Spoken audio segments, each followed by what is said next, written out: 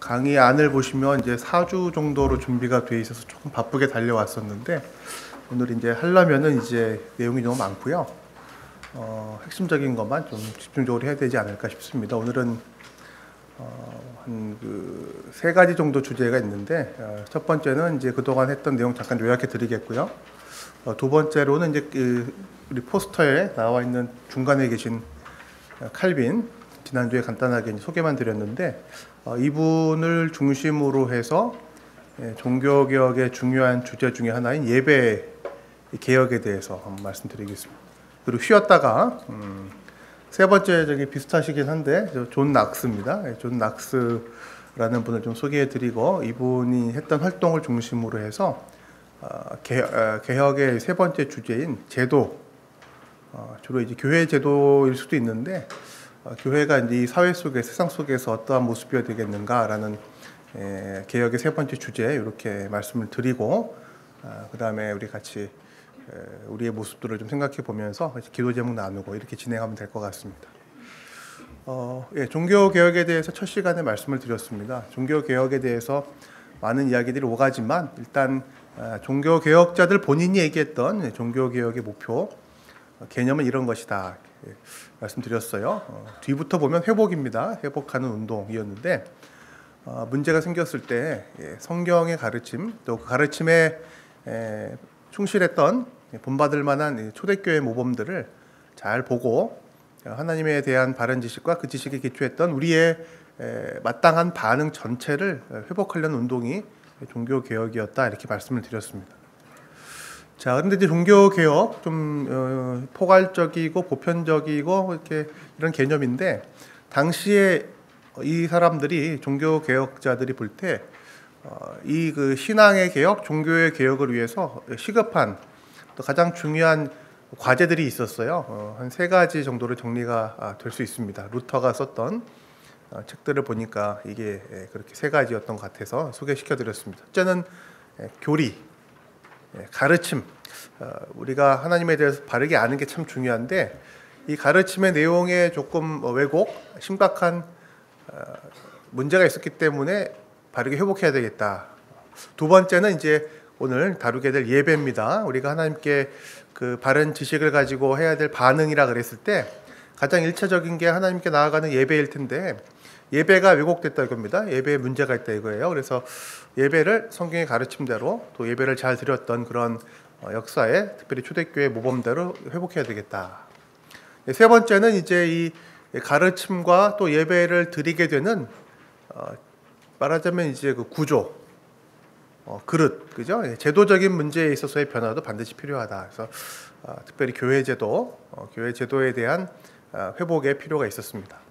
예, 루터를 소개해 드리고요. 루터가 이제 얘기했던 이신층이를 이신층이 교리를 중심으로 해서 예, 교리, 특별히 가르침에 있어서 무엇이 그 당시 문제였고 어떤 그 회복을 어, 강조했는지를 어, 지난주에 말씀을 드렸습니다.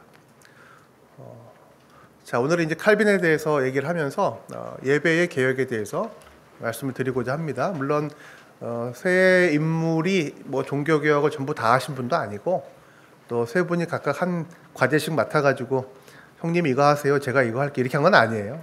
다 연결이 돼 있습니다. 근데 우리 이해의 편의를 위해서 3 포인트로 나눈 거니까 칼빈을 통해서 교리 얘기도 할 수 있고 제도 얘기도 할 수 있지만 예배 이야기, 예배 개혁에 대한 이야기를 좀 해보겠습니다. 1509년 아, 태어났고요. 1564년에 죽었다고 말씀을 드렸습니다. 사진이 두 가지인데 앞에는 젊은 시절의 칼빈을 초성하고요. 오른쪽에 있는 것은 나이가 많이 든 다음에 칼빈의 이야기인데 비슷하긴 하면서도 상당히 초췌하죠. 네. 뭐 열심히 사역하고 열심히 목회하고 예, 병이 많으셔가지고요. 음, 어, 사실은 이제 50대에 돌아가셨는데 예, 짧은 인생은 그 당시는 아니지만 예, 어, 과로사입니다. 제가 볼 때 과로사. 어, 예.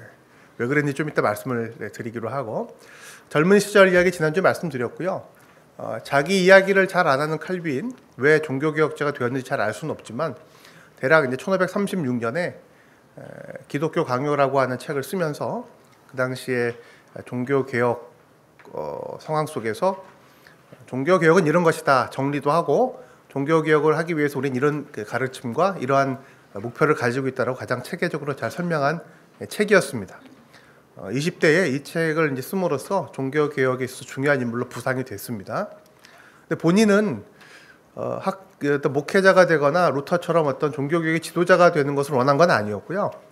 어, 좀 소심한 분이고 그래서 그랬는지 학자로서 학문으로서 이렇게 어, 기여하고 싶었어요. 근데 어, 우연치 않게 방문하게 된 스위스의 제네바라는 도시에서 오른쪽에 있는 어, 대학 다니던 시절에 알고 지내던 자기보다 스무 살이 많은 기욤 파렐을 만나게 되죠. 파렐이 어, 제네바에서 종교개혁 운동을 막 시작을 했었는데 혼자 어, 감당하기가 좀 버거웠어요. 근데 칼빈이 지나간다는 이야기를 듣고 그날 밤에 찾아왔죠. 지난주 말씀드린 내용입니다. 그래서 형님 스무 살인데 형님이라 그랬는지 모르겠습니다.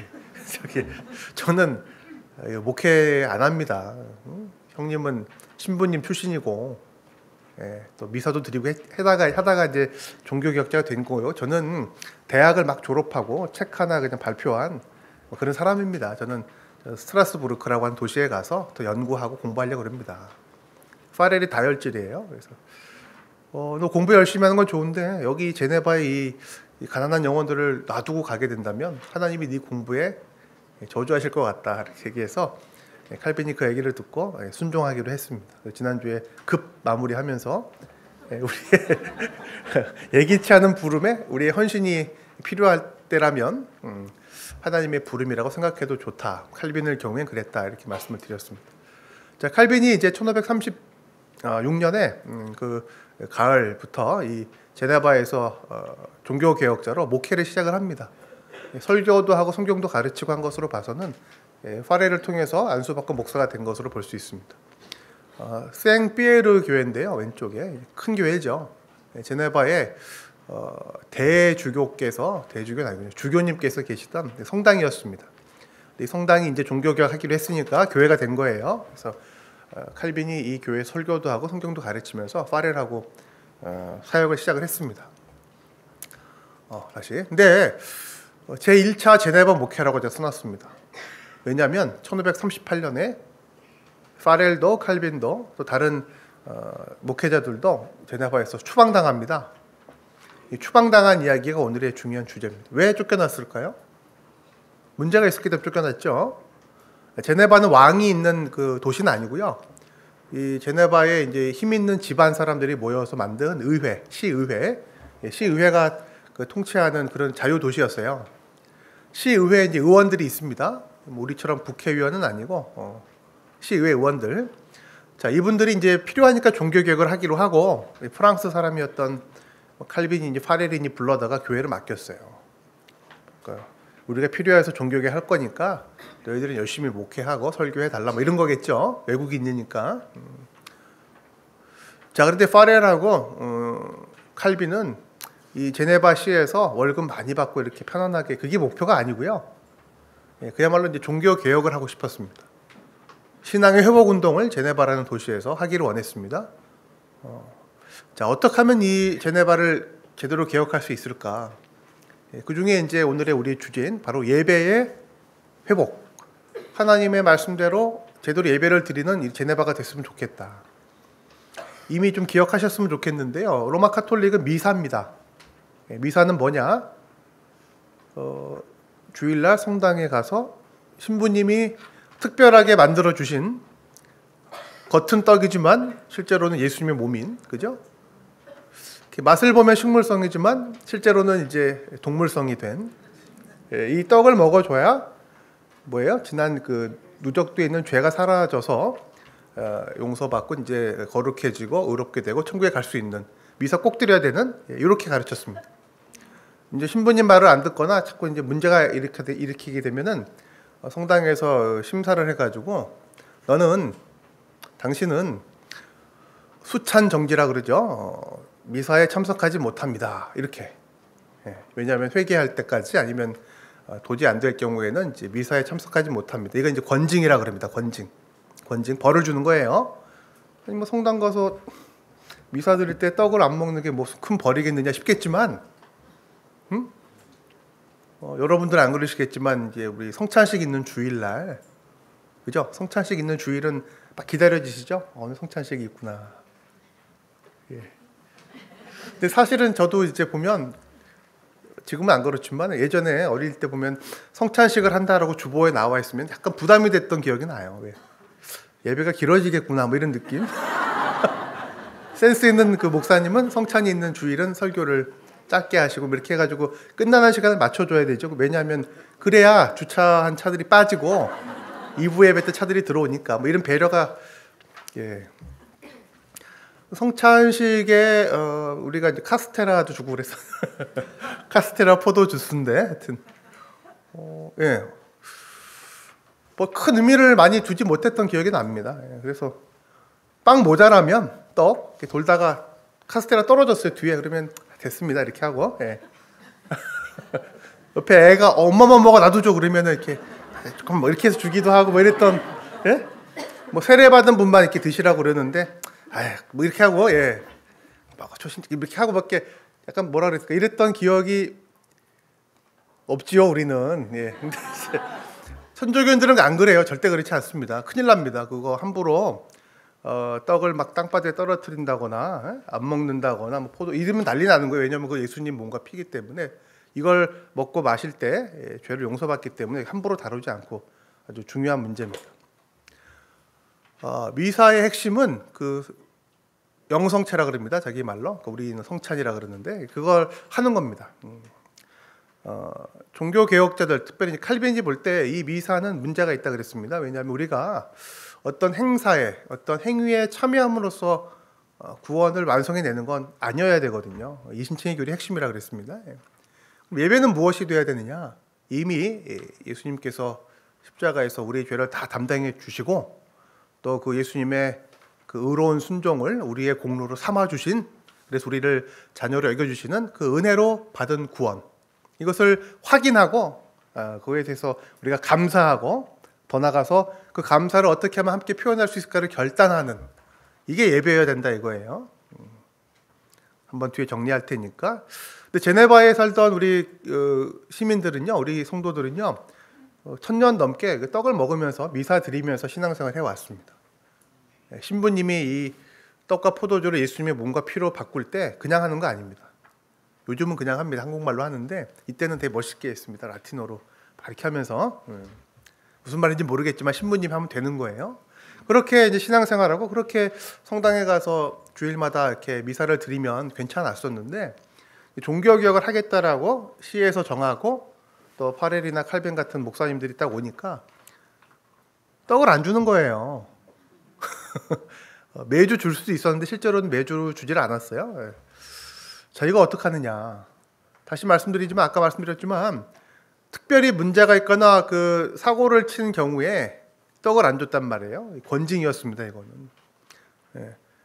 어, 주일날 성당에 와서 미사 드릴 때 이 성찬에 참여를 못하는 것은 벌을 받는 거였어요. 구원에 지장이 생기는 거였어요. 불안하죠. 종교 개혁을 했더니 목사님들이 와가지고 떡은 안 주고 설교만 이렇게 예. 무슨 취지인지는 이해가 될 수도 있지만은 예, 몸이 불안하겠죠 몸이 오늘 떡 안 먹었거든요. 예.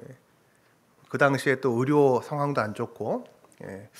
갑자기 세상을 떠나면 내가 정말 천국 못 가는 거 아닐까라는 불안감.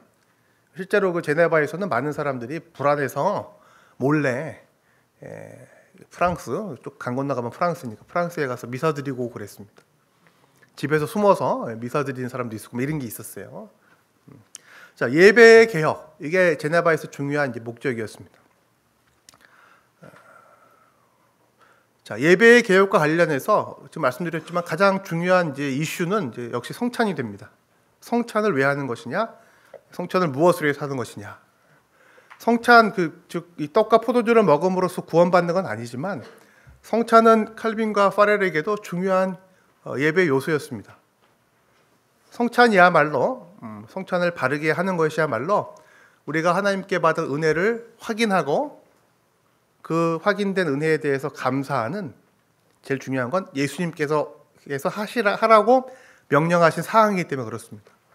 그렇죠? 이렇게 하여 나를 꼭 기념하라 그러셨거든요. 예, 이렇게 나를 기념하라 하시며 성찬하신 거기 때문에 반드시 해야 될 문제예요. 예. 자, 성찬이 그 구원의 조건으로 왜곡되지 않고 바르게 시행되게 하기 위해서 종교 개혁자들 어, 칼빈과 파렐이 제네바에서 애를 많이 썼습니다. 성찬이 바르게 시행되기 위해서는 제일 중요한 게 뭐냐면 어, 우리의 필요와 교회의 필요를 위해서 성찬의 가장 중요한 의미가 왜곡되면 안 된다 이게 목표입니다. 자, 천주교에서 미사를 드릴 때 이 떡을 꼭 먹어야 된다, 포도주를 꼭 마셔야 된다로 얘기했던 이유가 뭘까요? 예, 종교 개혁자를 판단하기에는 그래야만 예, 사람들이 예, 교회의 예, 신부님들을 중심으로 한 사제들의 권위에 복종할 수 있다라는 예, 필요 때문에 예, 교회의 사람들을 종속시키기 위해서 예, 하나님께 드려야 될 예배를 남용했다 이렇게 비판했습니다. 예, 떡을 주고 안 주고 이 구원받을 수 있는 공로를 주고 안 주고의 결정 여부를 신부님들이 갖고 있었단 말이에요. 예. 그래서는 안 되고 오직 우리 주님께서 확인해 주시는 은혜가 확인되고 예, 거기에 따라서 우리 함께 나누는 은혜. 그래서 우리 성찬인데 예, 이게 예배의 그 개혁의 길이다 이렇게 생각했습니다. 제대로 바르게 성찬을 하자 이겁니다. 문제는 어디서 생겼냐면 이게 좀 복잡할 수도 있는데 어, 역시 그 칼빈도 파렐도 아직 예배 드릴 준비가 안 된 사람, 그죠? 성찬에 참여하기가 어려운 회개하지 않은 사람은 어, 성찬에 참여하지 못하게 된다 생각 가지고 있었습니다. 권징을 제대로 시행해야 된다 생각하고 있었어요. 근데 권징을 왜 시행하느냐? 로마 카톨릭처럼 그 제대로 교회에 복종하지 않았을 때 권징을 해가지고 복종시키기 위한 게 아니고요. 이 예배 가운데 드러나야 될 하나님의 은혜와 예수님의 어떤 은혜가 아주 중요하기 때문에 이 은혜를 잘 보호하고 잘 증거하기 위해서 성도들이 성찬을 잘 준비해야 된다. 이런 차원에서 권징을 이야기했습니다. 그러니까 교회의 그 권위를 유지하기 위한 권징이 아니라 예배를 예배답게 드리기 위한 권징을 주장했습니다. 예. 자 그러면 칼빈이나 파렐 같은 종교 개혁자들이 볼 때 예배에 참여하기가 좀 어려운, 특별히 이제 성찬에 참여해서는 안 될, 준비가 안 된 사람은 어떤 사람들이었을까요? 어떤 사람들이 이번 주에는 성찬에 참여하기가 어, 당신은 좀 어려우니까 성찬에 참여하지 마세요라고 권징을 해야 될 가장 중요한 말하자면 이제 문제 뭐였을까요? 로마 카톨릭은 뭐 여러 가지가 있습니다. 예. 가장 대표적인 게 교황 욕하면 파문이에요. 뭐 예를 들면 예. 신부님한테 대들면은 종교 개혁자들도 그 철저하게 권증을 해서 성찬의 순수성, 예배의 거룩성을 보존하자 그랬는데 어, 이분이야말로 성찬에 이번 주 참여할 수 없습니다라고 그 얘기할 수밖에 없는 예, 그런 어, 잘못이 있다면 뭐가 있었을까요? 뭐가 있었을까요? 목사님한테 덤빈 거? 교인들께 서로 막 싸운 거? 여러 가지 있겠죠. 예. 그 제네바에서 문제가 됐던 가장 중요한 거는 그게 뭐냐면 어, 종교 개혁자들이 얘기했던 바른 신앙, 응? 성경대로 믿고 바르게 예배 드리겠다라고 하는 것에 동의하지 않는 겁니다. 아까 지금 말씀드린 것처럼 숨어서 미사 드린 경우 있죠. 이런 경우는 어, 그 주에 성찬에 참여하지 못하게 했습니다. 예배에 대한 그 바른 이해가 그 정립되지 않은 분들은 조금 더 이제 권면을 해드리고 좀 더 제대로 이해하고 예배를 드려야 되겠죠. 안 그러면 성찬 드려봐야 또 이제 우상 숭배적으로 성찬 드릴 수 있기 때문에 음, 이해가 되세요? 예. 자 칼벤하고 파렐이 이거를 뭐 개별적으로 할 수도 있지만은 제네바에서 이제 모든 성도들에게 모든 시민들에게 이 제네바의 그 종교의 개혁과 예배의 개혁이 어떠한 방향으로 갈 겁니다라고 알리기 위해서 신앙 고백서라는 걸 만들었습니다. 제네바 신앙 고백서를 만들었어요. 길지 않습니다. 신앙 고백서를 만들고요. 어, 그 내용에 대해서 예, 모든 시민들이 동의할 것을 요구했습니다. 동의는 이제 서명 형식으로 이루어졌습니다. 예, 예, 우리가 지금 다루고 있는 여러 가지 종교 개혁의 주제들과 관련해서 어, 법적인 문서입니다. 거기에 시민들이 서명을 하라 그랬는데 서명을 하지 않은 분들이 있었습니다. 서명하지 않은 분들이 바로 이제 그 성찬에 참여할 수 없는 분들이 되겠습니다. 음. 어, 그러니까 그냥 우리는 그 종교 개혁을 하기로 했으니까 1536년에 제네바에서 이렇게 할 거고 뭐 하려면 하고 말라면 말라 이렇게 한 게 아니라 우리 종교 개혁자들은 시 전체 시민들에게 도전을 한 거죠. 어, 앞으로 우리 이 시의 신앙생활은 예배는 이렇게 갈 거니까 여기에 동의하기 바란다라고 예, 법적으로 요청을 했는데 여기에 대해서 이제 동의하지 않을 수도 있죠. 양심의 자유가 있고 또 다 이해가 안 될 수 여러 가지 이유가 있습니다. 예, 적어도 이제 여기 내용에 대해서 동의를 못 하시는 분들에게는 예, 뭐 감옥에 보낸다건 이건 아니고요. 예, 성찬을 함께 할 수는 없습니다. 이거예요. 왜냐하면 동일한 신앙 고백 위에서 함께 은혜를 나누는 예배여야 되기 때문에 좀 엄격하긴 한데 자 문제는 어디서 생기냐면요. 시의회가 시의회 의원님들께서 모여가지고요 회의를 했어요. 그리고 이렇게 결정합니다. 아유 그 성찬에 참여를 하고 안 하고의 문제는 우리가 결정할 테니까 어? 우리가 결정 시의회에서 결정할 테니까 목사님들은 그냥 다 줘라 이렇게 얘기했습니다. 다 불안해하지 않느냐 아직 시간이 걸리지 않느냐 그러니까 다 그냥 참여하면 성찬 다 줘라 1년에 네 차례밖에 하지 않았지만 예, 다 줘라 이렇게 얘기했습니다. 칼빈은 이렇게 얘기했습니다. 고의적으로 어, 어떤 종교개혁의 취지에 동의하지 않아서 이 신앙 고백에 동의하지 않는 분들에게는 뭐 지옥 보내는 게 아니에요. 예. 성찬을 함께 나눌 수가 없습니다. 이렇게 얘기했습니다. 뭐가 맞을까요? 예. 자, 성찬식을 하기로 되어 있는 1년에 4번 정도 했었는데 이제 부활절이 왔습니다. 1539년 부활절. 시의회가 명령을 했습니다. 그 잔말하지 말고 다 줘라. 예. 성찬을 줘라 이렇게 얘기했어요. 목사님들은 이렇게 얘기했습니다. 목회자로서 우리가 어, 성찬에 있어서 예배에 있어서 이 바른 신앙 고백에 대해서 굳이 동의하지 않는 분들에게는 동의하기 전까지 성찬을 함께 나누긴 좀 어렵겠습니다. 이렇게 얘기했습니다. 음. 기싸움이죠. 예. 시의회가 볼 때는 종교 개혁은 시의회의 경제적 정치적 필요 때문에 한 거예요. 그 일을 위해서 그냥 데려온 거고 목회자들 입장에서는 바른 예배를 세우기 위해서는 여기서 분명하게 예배가 무엇인지 우리가 원하는 그 신앙의 모습이 무엇인지를 확실히 그 확인을 해야 될 필요가 있어요. 뭐 천주교처럼 뭐 지옥 보내지 이건 아닙니다만은. 예. 어, 자 이제 성찬 때가 돕니다. 예. 부활절 날 4월. 그, 음. 이분 안 했어요. 그 서명을 안 했어요. 일부러 안 했습니다. 아니 목회자들이 외국인들이 와가지고 동의를 하라고 말 안 했습니다. 몰라서 하는 게 아니에요. 알만한 분이 일부러 기분 나빠서 하는 거예요. 안 줬습니다. 떡을 안 주고 지나갔어요. 네. 그날 오후에 주일날 오후에 시의회가 비상 회의를 열어서 아니 우리가 주라 그랬는데 인간들이 어? 왜안 줬냐? 아, 당장 짐 싸서 나가라 이렇게 된 겁니다. 네. 시의회 명령에 불복종했기 때문에 추방당합니다. 그래서 어, 1939년에 그 칼빈과 파렐과 또 한 명 더 계신데 목사님 세 분이 제네바에서 추방을 당합니다. 어, 말하자면 이제 제1차 제네바 목회에서 칼빈이 그 추방당하고 어려움을 당한 가장 큰 이유는 바른 예배를 드리기 위한 노력의 결과였다고 볼 수도 있습니다. 바른 예배. 어, 칼빈은 결국 20대 때에 그 하나님의 부르심인 줄 알고 순종했던 제네바의 사역에서 실패한 거죠, 사실은. 예, 실패하고 예, 자기가 원래 가려고 했던 스트라스부르크라는 도시에 갑니다. 마틴 부처라고 하는 어, 그 종교 개혁자가 칼빈을 이제 받아줍니다. 상처 입고 실패한 젊은 목회자를 받아서 예, 스트라스부르크에서 다시 예, 목회를 할 수 있도록 기회를 줍니다.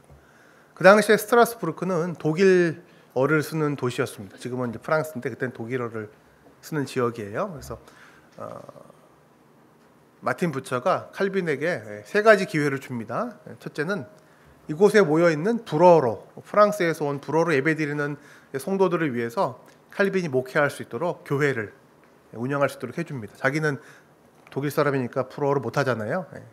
옆에 있는 이 건물이 칼빈이 불어 쓰는 프랑스 성도들하고 예배드리고 목회했던 교회입니다. 그러니까 시의회에 간섭이 없습니다. 시의회가 간섭할 수가 없어요. 말이 안 통하니까. 예, 칼빈이 이 스트라스부르크에서 한 200명 정도 가까이 되는 자기 그, 그 고국의 예, 성도들과 함께 다 피난 나온 사람들이죠. 이곳에서 이제 목회를 하게 됩니다. 근데 제네바에서 한다고 했지만 한 건 없어요.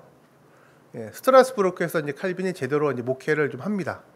근데 아무것도 사실 잘 모르는 그 칼빈이 어떻게 목회했겠어요? 바로 이 마틴 부처 스트라스부르크의 종교 개혁자가 예배드리는 모습이나 교회를 운영하는 모습을 보면서 그걸 따라서 하게 됩니다. 사실 그래서 어, 칼빈의 예배의 여러 가지 모습들은 마틴 부처라는 인물에게서 온 것입니다. 예. 두 번째는 이제 마틴 부처가요. 칼빈에게 기회를 줬는데 그게 뭐냐면 이 칼빈을 데리고 독일 여러 지역에서 열린 그 종교 회의, 종교 개혁자들의 모임에 칼빈을 데리고 다닙니다. 예, 이 독일이라 그랬죠. 예. 루터를 만나지는 못했어요 칼빈이 그러나 루터의 어떤 제자들 만나서 칼빈이 사실 마틴 부처를 통해서 본인이 원하진 않았지만 유럽의 종교 개혁의 중요한 지도자로 인정을 받게 됩니다. 예. 세 번째는 마틴 부처가 칼빈을 결혼시킵니다. 야 너 결혼해 이렇게. 칼빈 결혼할 생각이 별로 없는 분이었어요 사실은. 예. 근데 결혼을 해야 제대로 사역을 할 수 있어 이렇게 얘기하면서 예, 결혼을 시킵니다. 남편이 일찍 돌아가신 미망이 나고 예, 결혼을 시킵니다. 그 칼빈이 목회자가 되고 칼빈이 또 종교 개혁 지도자가 되고 칼빈이 결혼해서 이제 인간이 됐는데 마틴 부처가 중요한 역할을 했고 스트라스부르크에서 실제로 칼빈이 여러 가지 측면에서 성숙한 사역자로 또 종교 개혁자로 어, 업그레이드 된다 그래야 될까요? 예, 변화가 있었습니다. 그냥 자기는 원래 계획이 그랬으니까 스트라스부르크에서 계속 그렇게 행복하게 목회하고 또 글도 쓰고 가족들과 함께 살고 싶었어요. 떠나온 제네바에서 연락이 옵니다. 칼빈하고 파레를 화가 나서 쫓아내긴 했는데 쫓아내고 나니까 이게 뒤죽박죽이 되는 거예요. 제네바 출신들의 목사들을 이렇게 목회하라고 세워놨더니 눈치는 잘 보는데 방향이 없는 거예요. 어. 그랬더니 제네바 근처에 있던 신부님들, 뭐 주교들, 뭐 로마 카톨릭 사람들이 제네바한테 연락을 해가지고 종교개혁 그만해라 막 위협을 하는 겁니다. 음. 여러 가지 상황이 어렵자 제네바의 젊은 시 그, 그 리더들이 스트라스부르크 연락을 합니다. 칼빈한테. 아, 나이 드신 분들이 뭘 잘 몰라서 좀 목사님들 쫓아냈는데 목사님들 가고 나니까 3년 동안 너무 어렵습니다. 다시 좀 돌아와 주세요. 이렇게. 다시 오셔가지고 제네바의 종교 개혁을 다시 좀 해주세요. 이렇게 요청을 합니다. 가고 싶겠어요? 예? 아니 그 짐 쌀 시간이라도 좀 주지. 그 바로 쫓아낸 그 교회 가고 싶지 않겠죠. 파렐한테 연락을 합니다. 형님 안 가십니까? 그랬더니 나는 안 가. 나는 여기 자리 잡고 딴 데서 이제 목회를 시작했어요. 저도 바쁜데요. 고민을 합니다. 예.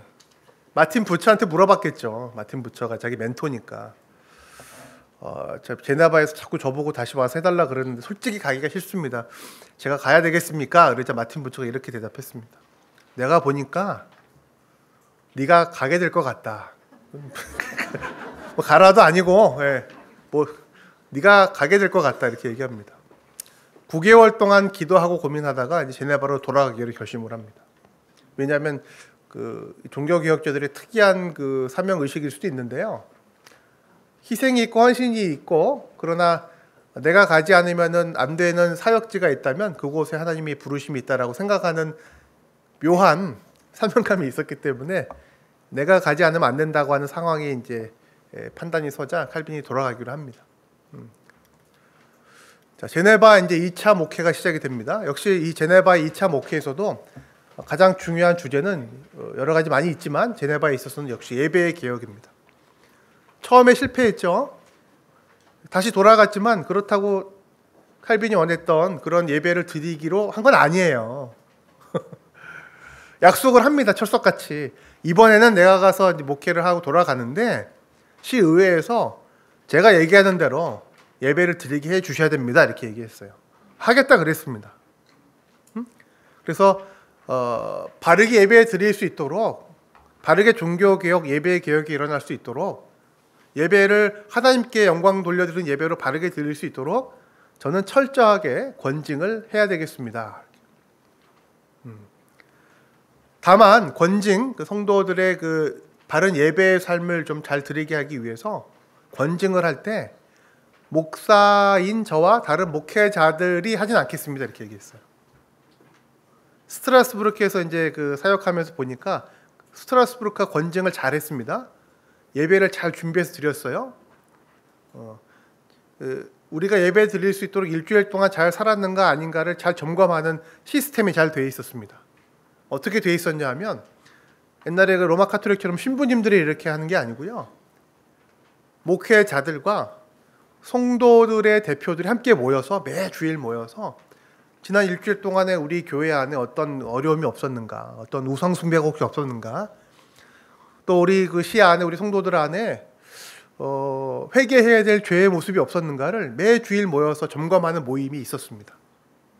여기서 중요한 건 목회자들하고 성도들의 대표가 함께 모여섭니다. 이 성도들의 대표가 누구냐? 장로입니다. 장로. 장로님들하고 목사님들이 함께 모여서 어, 중요한 건 뭐예요? 우리가 이번 주일에 예배 드릴 때 예배 드릴 만큼 우리 그 교회 성도들이 잘그 순종한 삶을 살았는가를 점검하는 모임이 있었습니다. 예. 제네바에서 그런 모임을 시작하게 해주면 그런 모임을 갖게 해주면 제가 가서 사역하겠습니다. 이게 조건이에요. 아 좋다고 그렇게 하자고. 그래서 어, 매주 목요일입니다. 예, 목요일마다 모이는 모임을 시작을 합니다. 1941년. 그게 오늘날 당회입니다. 당회. 우리가 이제 교회는 당회라고 있습니다. 목사님하고 장로님들이 모이는 당회가 있어요. 예. 당회의 시작입니다. 이게 예. 당회의 핵심은 뭐라 그랬어요? 예배를 이 교회가 제대로 드리고 예배 드리고 말씀 드린 대로 순종할 수 있도록 성도들을 돌아보고 격려하는 모임입니다. 근데 중요한 건 목사 혼자 하는 게 아니고 예, 그 성도들의 대표자인 장로들이 같이 하는 겁니다. 그 당의 핵심이에요. 예. 당회 중요합니다 지금. 장로님들은 그, 그때도 그랬고요. 어, 우리가 장로교니까 장로교에서 장로님들을 그 역할을 하기 위해서 뽑는 겁니다. 모르셨죠? 예. 장로님들은 어떤 역할 하시는 분들이냐? 성도들의 삶을 돌아보고 성도들을 목회적으로 돌보는 역할이 장로 역할입니다. 어, 말씀을 잘 들을 수 있도록 예배를 잘 주일 함께 모여서 드릴 수 있도록 그 돌보고요. 예. 또 말씀을 듣고 예배를 드린 다음에는 그 말씀을 순종할 수 있도록 격려하는 역할이 장로의 역할이에요. 그리고 함께 모여서 어떤 일이 있었는가 잘한 경우 있으면 또 감사하고 잘 이렇게 그 순종하지 못하거나 이제 쉽게 얘기해서 사고를 친 경우가 있으면은 가서 권면입니다. 제일 많이 하는 것은 제일 많은 권증은 권면이에요. 응? 권면. 무조건 막 그 파문 이런 거 아닙니다. 예. 권면하고 돌보는 모임이 이제 그 당회고요. 예. 그다음에 그 역할을 같이 담당하는 것이 이제 장로님들의 역할이었습니다. 어, 오늘날에 이제 교회에 보면은 그 우리 순장님도 계시고, 그죠? 예, 그 중요한 역할을 하시는 겁니다. 예. 그 사제들이 모든 권한을 다 가지고 그 떡을 주니 안 주니를 가지고 성도들을 통제하는 것이 아니라 다 같이 말씀에 순종해야 될 교회의 지체들로서 바르게 예배를 잘 드리기 위해서 서로를 돌볼 수 있는 모임으로 예, 그런 새로운 구조를 제안한 것입니다. 하기로는 했는데 잘 안 합니다. 예. 예. 칼빈이 어떻게 했겠어요? 어. 하기로는 했는데 잘 안 돼요. 권징에 대해서 어, 자꾸 이게 정치적인 탄압이다 내지는 속박이다라고 이제 오해하는 일들이 계속 있습니다. 칼빈이 했던 일들은 이제 시의회의 그 의원으로 그 출마해 가지고요. 자기가 시의회 그 의원이 돼 가지고 정치적으로 그 그렇게 안 했습니다. 목회자의 역할은 장로님의 역할과 다릅니다. 예. 목회자 역할은 가르치는 역할입니다. 음, 목회자는 말씀을 가르치고 설교하는 역할이에요. 한 개인이나 시 전체를 놓고 말씀대로 순종하는 모습으로 막 바꿔 나가는 것은 예, 정치의 영역에서 하나님의 주권을 드러내야 될 예, 시의회 의원들 즉 장로님들의 역할인 거예요. 출마하지 않습니다. 칼빈은 예, 뭐 했느냐 가르칩니다. 말씀 가르치는 게 자기 직분이니까. 가르치는 게 목회 역할이고 장로님들의 역할은 다스리는 직분이기 때문에 어, 생페르 대성당 옆에 가면은요 바로 오른편에 지금 사진에 나오는 부설 강의동이 있어요. 지금도 있습니다. 그때 그 건물입니다. 어, 사실은 그 제네바에 가시면은 나중에 뭐 가셔서 보시면 참 좋겠는데 대성당보다 제가 볼 땐 더 중요한 그 공간이 바로 이, 이 공간입니다. 대성당 옆에 있는 강의동. 그 안에 가면 이 의자가 있어요. 칼빈의 의자라고 알려진 그때 그 의자는 아니 똑같이 생긴 의자입니다. 저 의자에 앉아서 칼빈이 뭘 했느냐면 성경 강의를 했습니다. 주일날은 이제 옆에 그 교회에서 예배를 드리고 설교했고요. 주중에는 뭐 당회 모임도 있고 많은 모임이 있지만 어, 이 강의 동에서 오픈 공개 성경 강의를 꾸준하게 했습니다. 듣든지 안 듣든지 이곳에서 성경을 가르칩니다. 어, 이게 아주 중요한데 칼빈이 느끼기에는요. 제도 참 중요합니다. 그리고 삶이 변화되는 거 다 중요한데 결국에는 왜 이걸 해야 되는지 무엇을 위해서 이것을 하는지에 대한 분명한 이해, 분명한 가르침이 전제되지 않으면은 사실 종교 개혁, 예배 개혁은 불가능한 것이라고 봤기 때문에 그렇습니다. 어, 자기의 그 직분이 가르치는 또 목회자 직분이었기 때문에 이곳에서 어, 제네바 시민들에게 말씀을 가르치고 교육하는 일을 합니다. 우리가 왜 예배를 드려야 되는지, 우리가 예배를 드리는 하나님이 어떤 분이신지, 하나님께서 우리에게 어떠한 구원 대대를 베푸셨는지, 거기에 대해서 우리가 가져야 될 바른 합당한 반응이 무엇인지는 예, 성경의 가르침을 통해서 깨달을 수 있다라고 봤기 때문에 그렇습니다. 눈이 오나 눈은 안 왔을 것 같아요. 눈이 눈이 오나 비가 오나 어떠한 상황이 있거나 칼빈은 강단에서 설교하는 일 못지않게 예, 주중에 성도들에게 말씀을 가르치는 일을 쉬지 않습니다. 예. 어, 진정한 목회자의 모습이 칼빈에게서 발견할 수 발견될 수 있다면 그것은 어, 주일날 한 번 나와서 설교하는 게 아니라 성도들에게 끊임없이 하나님 말씀을 가르치려고 했다는 것입니다. 예.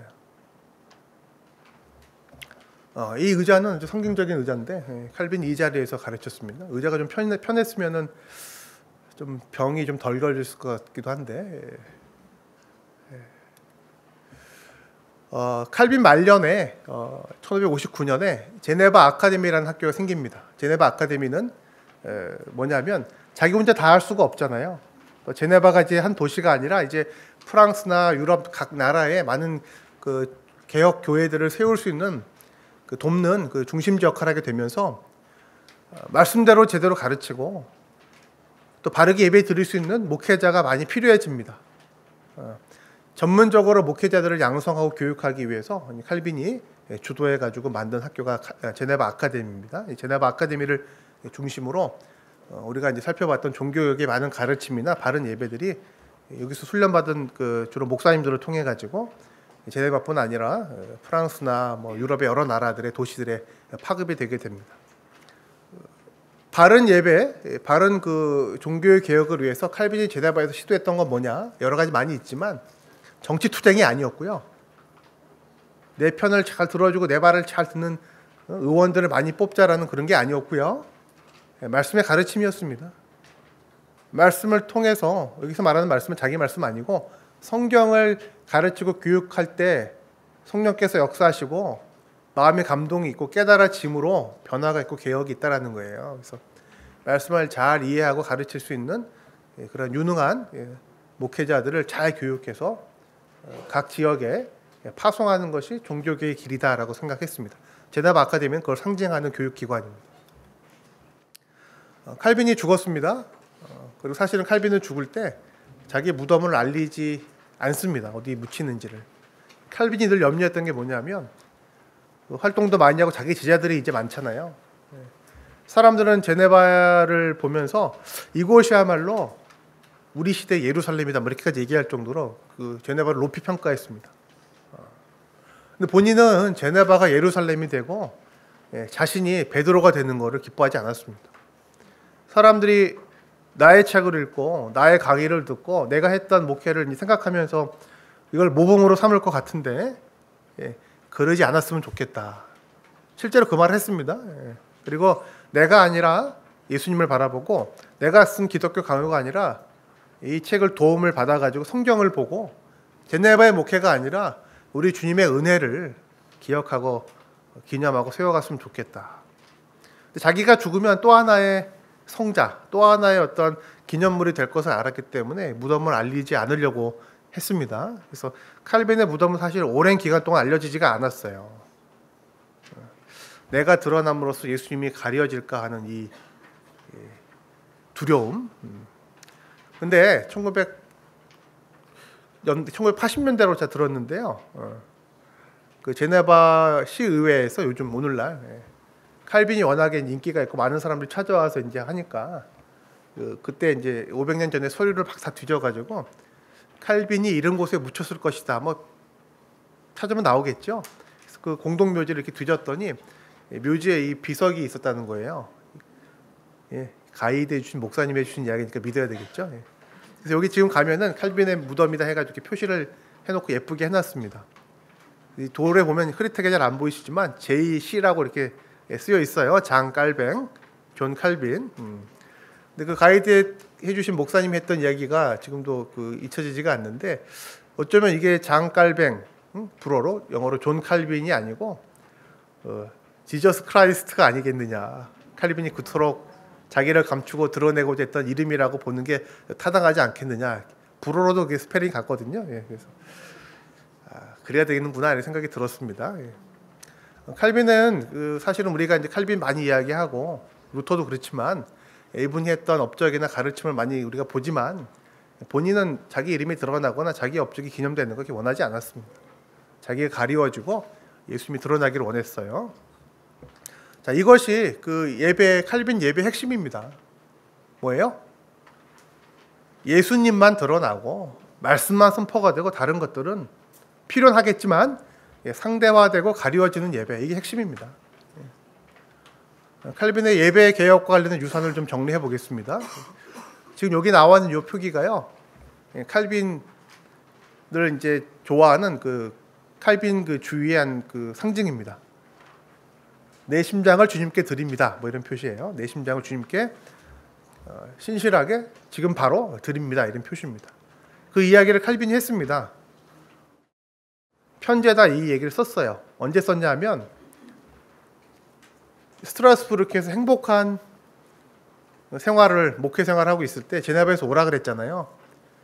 아, 정말 가기 싫은데 원수 같은 사람들 보기 싫은데 하나님이 부르신 부름인 줄 알고 제네바로 다시 가겠습니다 할 때 했던 이야기예요. 저의 심장을 주님께 드리는 마음으로 그곳 하나님의 부르심 있다면은 신실하게 바로 지금 즉각 순종하겠습니다 하면서 편지에다 말을 쓴 것을 그림으로 그린 예, 칼빈 어, 주의 내지는 칼빈 그 신학을 상징하는 이 그림이에요.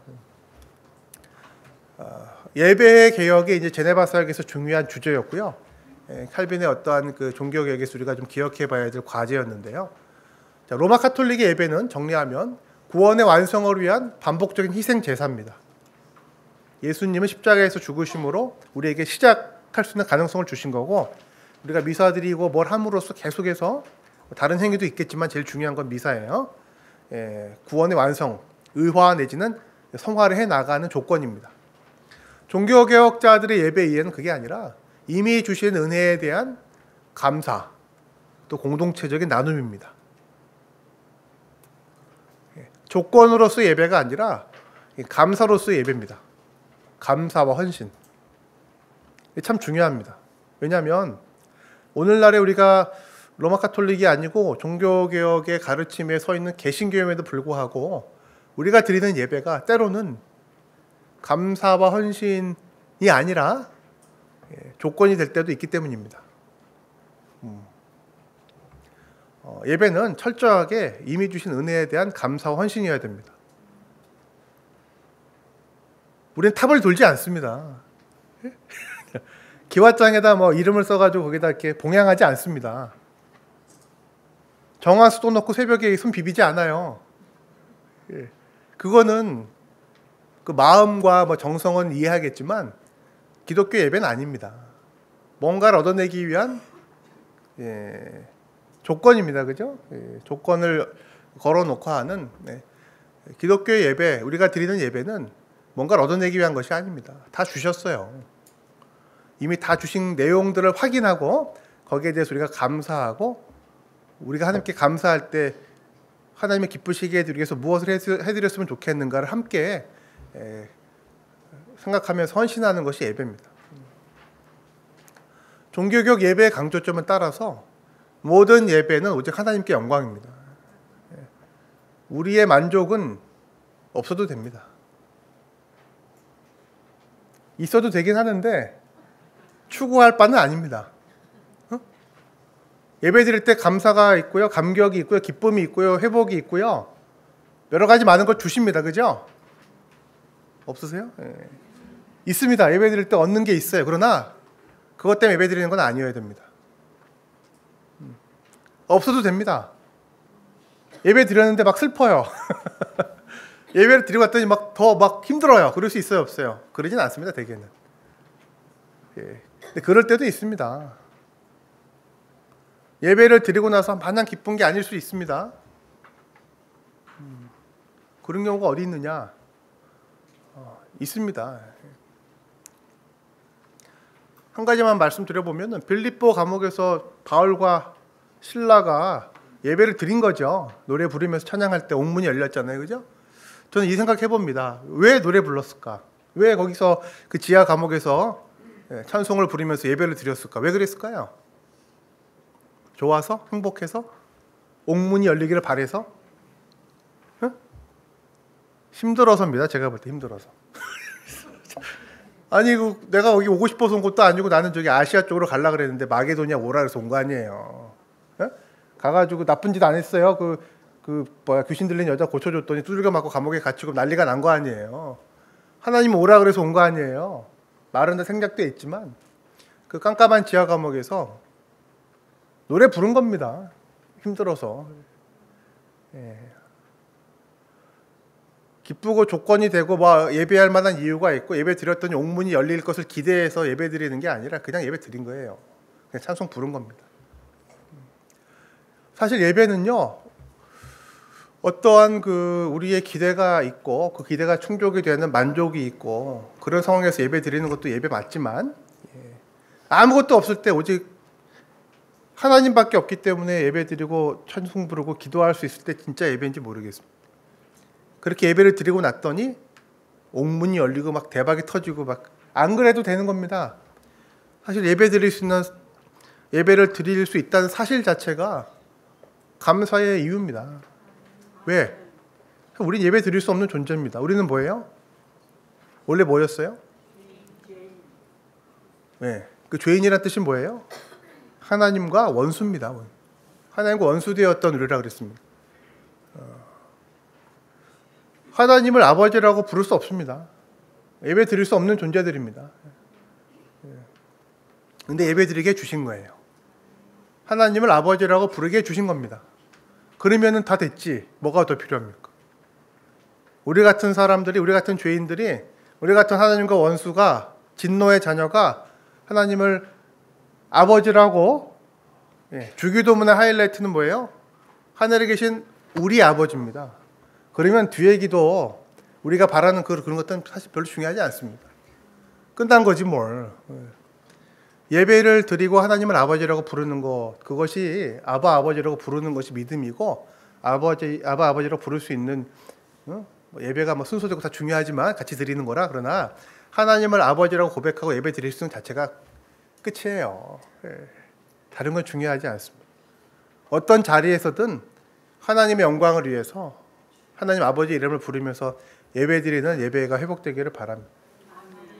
근데 그게 잘 안 되는 이유가 뭐냐? 개인이 됐던 교회 조직이 됐던 다른 다른 요소들의 필요와 조건들이 많이 들어왔기 때문에 예배가 왜곡되는 겁니다. 예. 하나님께 영광 99% 해드리고 1%도 좀 챙기자. 에? 예? 음. 뭐 그런 거죠. 뭐 하나님께 영광, 예. 우리에게 기쁨 뭐 이런 거잖아요, 그죠? 예. 하늘에서는 하나님께 영광, 땅에서는 뭐 우리의 기쁨. 어, 기쁨 주십니다. 우리에게 많은 걸 주세요. 자녀니까. 그러나 다시 말씀드리지만 그거를 추구하는 건 옳지 않습니다. 없어도 돼요. 예배 있는 자체가 감격인 겁니다. 어, 지난 그 얼마 전에 구정이었잖아요. 설. 설에 자녀들이 세배하러 오죠. 제가 말씀드렸던 겁니다. 이거 예, 세배 드리러 올 때 정말 부모님을 사랑해서 오는 거긴 하지만 많은 것도 기대하는데 예. 우리 믿음이 자라고 성숙해지고 온전한 예배자가 된다는 것은 얼마나 그 찬양을 팔부함으로 부르느냐, 얼마나 훌륭한 악기들이 이게 아니고요.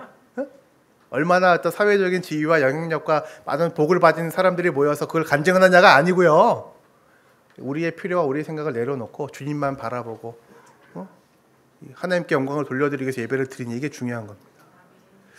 뭐 칼빈의 추구 방향 거기에 있었습니다. 하나님께 영광 돌려드리는 예배가 되게 하기 위해서 떡에게 마음 뺏기지 말라 이겁니다. 떡에게 떡이 뭐가 중요합니까? 하나님께 영광 돌리는 예배를 드리기 위해서 목회자들에게 집중하지 말라 이겁니다. 하나님께 예배 온전하게 영광 돌려드리고 하나님께 집중하는 예배를 드리기 위해서 너 자신에게도 마음을 뺏기지 말라 이겁니다. 사실은 목사님도 있고 뭐 교회 그 우리 저기 여러 가지 많이 요소들 예배를 드리기 위한 요소들이잖아요 다 그죠? 뭐 시설도 있고 다 있겠지만 사실 예배를 드릴 때 하나님께만 집중하고 하나님께 영광 돌려드리는 예배를 드리는데 가장 방해가 되는 것은 납니다 나. 내 생각을 하는 거예요. 예. 세상과 나도 간 곳이 없고 예, 구속한 주님만 보입니다라는 찬양처럼 놀랍게도 그 찬양을 작곡했던 크로스비 여사는 아기 때부터 맹인이 됐던 분입니다. 아시죠? 맹인이 됐어요. 의사가 치료를 잘못해가지고 예, 앞을 보지 못하고 평생 살았던 분입니다. 어쩌면 이 크로스비 여사가 앞을 보지 못했기 때문에 세상도 나도 필요 없고 구속한 주님만 보인다고 이것이 나의 간증이라고 노래할 수 있었는지 모릅니다. 우린 예배 드릴 때, 우린 하나님께 영광을 돌린다고 얘기할 때 너무나 많은 것을 이렇게 살펴보면서 합니다. 너무나 많은 것을 고려합니다. 고려 시대도 아닌데. 하나님께 영광 돌려드리 기 위해, 하나님께 영광이 되기 위해서 내가 해야 될 게 너무 많아요. 다 하나님께 영광이 되려고 주일날 교회도 못 오고 그렇게 사는 거 아니에요, 우리가. 다 하나님께 영광 돌려드리고 하나님께 하나님 나라를 위해서 우리가 그렇게 세상에서 분주하게 살았던 거잖아요. 우리 자녀들에게도 그렇게 하는 거고 그렇지 않습니다. 예. 어, 하나님께 영광을 돌려드리는 예배를 드리기 위해서 칼빈과 종교개혁에 추구했던 것은 말씀 중심의 예배입니다. 예, 말씀 중심의 예배. 너무나 많은 것들이 예배 시간에 이야기가 되고 너무 많이 보여지는 이게 중요한 게 아니라 하나의 말씀. 말씀으로 자신을 드러내셨기 때문에 예, 금송아지로 드러낸 게 아니라 말씀으로 드러냈기 때문에 말씀을 통해서 예배에 하나님 말씀 듣는 예배가 돼야 된다. 칼빈은 그래서 설교를 보면은요 자기 얘기를 잘 안 합니다 설교 시간에. 칼빈이 자기 얘기 잘 안 한다 그랬죠? 예. 자기한테 온 세상의 관심, 특별히 제네바 사람들이 관심을 갖고 있는 걸 자기 잘 알았어요. 자기 얘기 안 합니다. 설교가 재미없습니다. 예화가 없거든요. PPT도 없어요. 성경 강해를 해서 어, 성경을 특별히 강의할 때 그냥 쭉 따라갑니다. 오늘 창세기 1장 1절부터 10절까지 했으면 그 다음 주에는 11절부터 하는 거예요. 연속 강해라 그렇게 얘기합니다. 연속 강해. 왜 그랬을까요? 본문을 선택하는 데 있어서도 목사나 교회의 필요가 개입되지 않게 하기 위해서 한 장치입니다. 이거는. 본문을 고르는 것 자체에 우리의 필요가 개입될 수 있어요. 어? 이상하게 성전을 건축해야 될 교회에 필요가 있을 때는 학계에서가 동원되죠. 여호수아서도 인기가 있습니다. 허락하신 새 땅에 하면서 여호수아서 땅 살 때 여호수아서 여호수아서는요 교회 건축하고 별로 좋지는 않은 게 다 무너뜨리거든요. 사실 여유르고 무너지고 아이성 불태우고 그래서 어울리진 않죠. 하여간에 예. 성도들도 압니다. 요즘 성도들은 목사님이 주일날 이 성경 본문을 딱 읽는 순간 오늘 이 얘기 하려고 그러나 보다 이렇게 예. 사심이 개입됩니다. 칼빈도 알았어요. 그래서 주제별로 가지 않게 하기 위해서 본문을 연속으로 다루는 성경을 설명하는 그래서 칼빈의 설교는 사실은 설교라기보다는 우리식으로 보면 강의에 가깝긴 한데 예, 말씀 중심으로 가기 위해서 한 겁니다. 마지막 세 번째로는요. 삶 전체로 드리는 헌신을 강조했습니다. 주일날 예배 드리고 집에 가서 끝나는 게 아니고 삶 전체가 예배가 되기를 원했습니다. 칼빈이 했던 얘기를 이제 한번 들어보고 정리하겠습니다. 하나님께 드리는 예배의 유일한 기초는 하나님을 모든 덕과 의와 성결과 지혜, 진리, 능력, 선, 자비, 생명, 구원의 유일한 원천으로 인정하는 것이다. 따라서 모든 선한 것 의 영광을 하나님께만 돌리고 오직 그분으로부터만 모든 것을 구하고 우리의 모든 필요를 오직 그분에게만 의뢰하는 것이다. 이렇게 얘기했습니다. 네. 그리스의 삶에 대해서 이렇게 얘기했습니다. 두렵고 떨림으로 너희 구원을 이루라는 사도의 가르침이 우리에게 요구하는 것은 구원 덜 됐으니까 뭘 더 해내라가 아니고요. 다만 우리 자신을 아주 낮추고 동시에 주님의 권능을 높이는 습관으로 살아라라는 뜻이다. 구, 받은 구원에 합당한 삶을 살아라라는 뜻이다. 이 두려움처럼 우리를 움직여 가지고 주님 안에서 확신을 갖게 하고 주님을 의지하도록 만들어 주는 것은 없다. 나는 주의 풍성한 사랑을 힘입어 주의 집에 들어가 주를 경외함으로 예배하리다라는 선지자의 말씀도 이런 의미이다. 주일날만 끝나는 예배가 아니라 삶 전체가 하나님께 드리는 예배의 삶. 예. 하나님의 영광이냐 아니면 나도 영광이냐 이겁니다. 예. 하나님께서 예배를 통해서 말씀하시게 하고 그 말씀을 들어야 되고 아, 하나님께 영광 돌려드리는 예배를 드려야 되고요. 예, 그렇게 하기 위해서 우리가 말씀에 집중해야 되고 우리 삶 전체가 예배가 될 수 있도록 주일만이 아니라 예, 해야 된다 이렇게 말했습니다. 조건부 예배가 아니라 로마 카톨릭은 이제 조건부가 교회를 위한 조건부였을 것 같아요. 오늘날의 예배의 가장 위험한 요소는 나를 위한 예배가 되는 경우입니다. 100%를 음, 원하십니다. 그리고 그 100%는 주일날 드린 예배뿐 아니라 삶 전체가 거룩한 산 제물, 하나님을 위한 것이 되기를 원하십니다. 하나님. 예. 그러면 이 모든 것을 더하시리라 그랬어요. 걱정하지 마세요. 어? 걱정하지 말라 그랬습니다. 먼저 하나님의 나라와 그의 의를 구하고 살면 다른 것들은 다 책임져 주신다 그랬습니다. 잘 안 되죠. 어렵습니다. 우리 믿음이 성숙해진다는 것은 그런 겁니다. 예, 세상과 나는 간 곳이 없고 우리 주님 그의 나라와 그의 의가 어, 가장 중요한 것이 되어서 예, 하나님께 영광 돌려드리는 예배의 삶을 살게 되는 것이 성숙이 아닌가 싶습니다.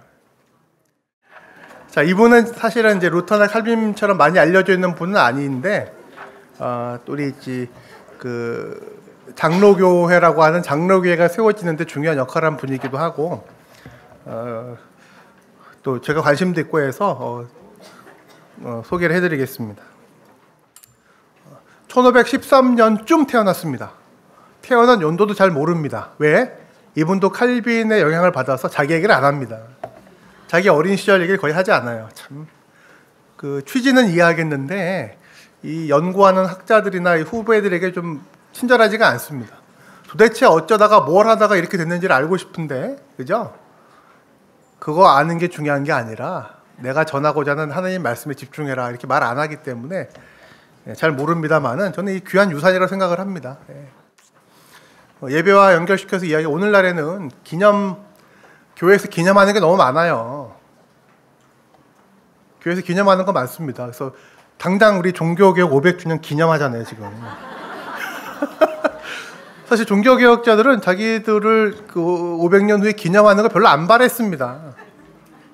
그거 아셔야 돼요. 예. 그런데 굳이 하는 이유는 종교개혁이 뭐라 그랬어요? 성경의 가르침하고 성경의 가르침에 충실했던 어떤 역사적인 사례들도 중요한 회복의 어떤 가이드 라인이니까 뭐 그런 정도입니다. 예. 그런 정도입니다.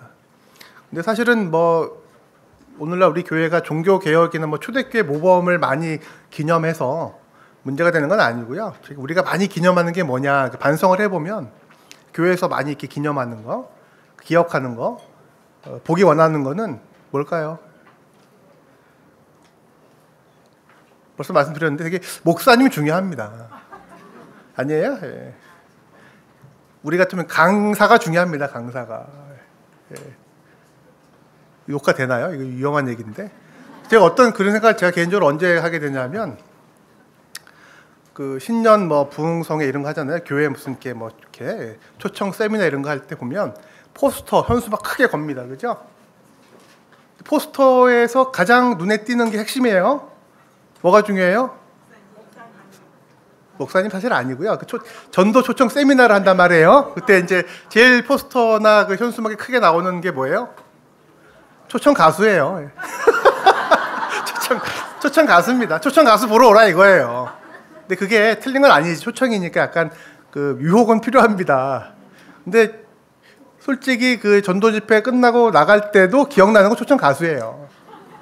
그분 보러 왔다 그분 보고 가는 거예요. 그죠? 그건 아니었던 것 같은데. 어, 근데 초청 집회가 아니라 말씀 사경에 뭘 합니다.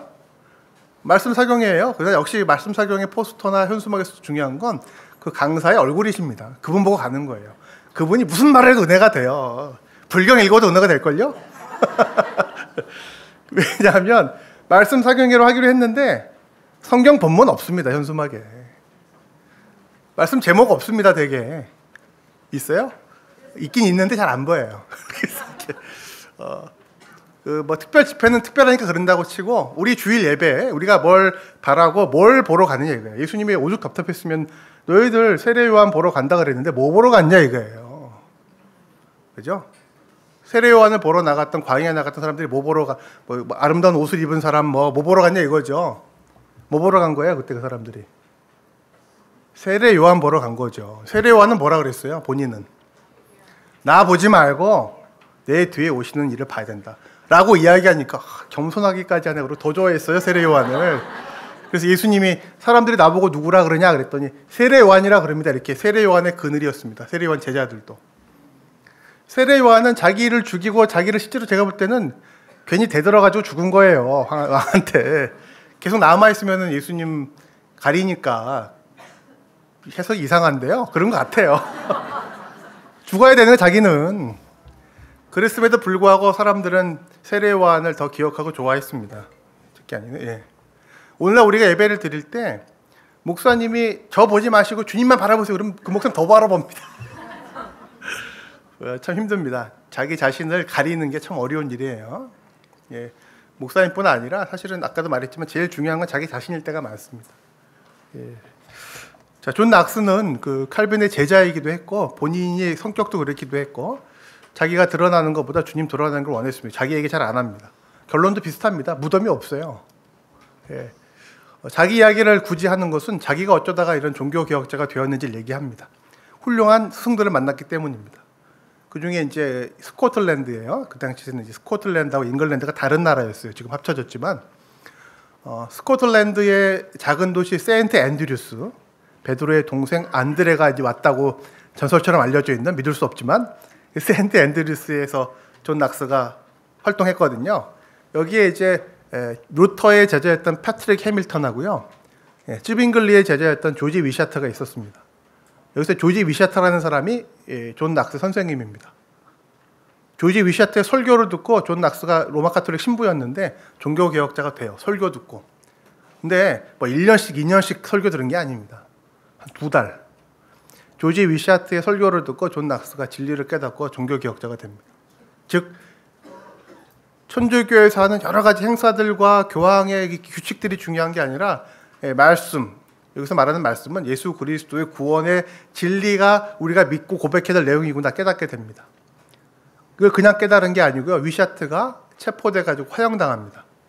이단 혐의로 예, 교황청에 도전했다는 의미로 어, 혐의로 체포돼서 화형당하는 위샤트의 가르침과 삶을 보면서 존 낙스는 이걸 하나님이 자신에게도 주신 사명으로 깨닫습니다. 약간 민감한 사람들이기는 해요. 나도 우리 선생님처럼 나이도 비슷해요, 사실은.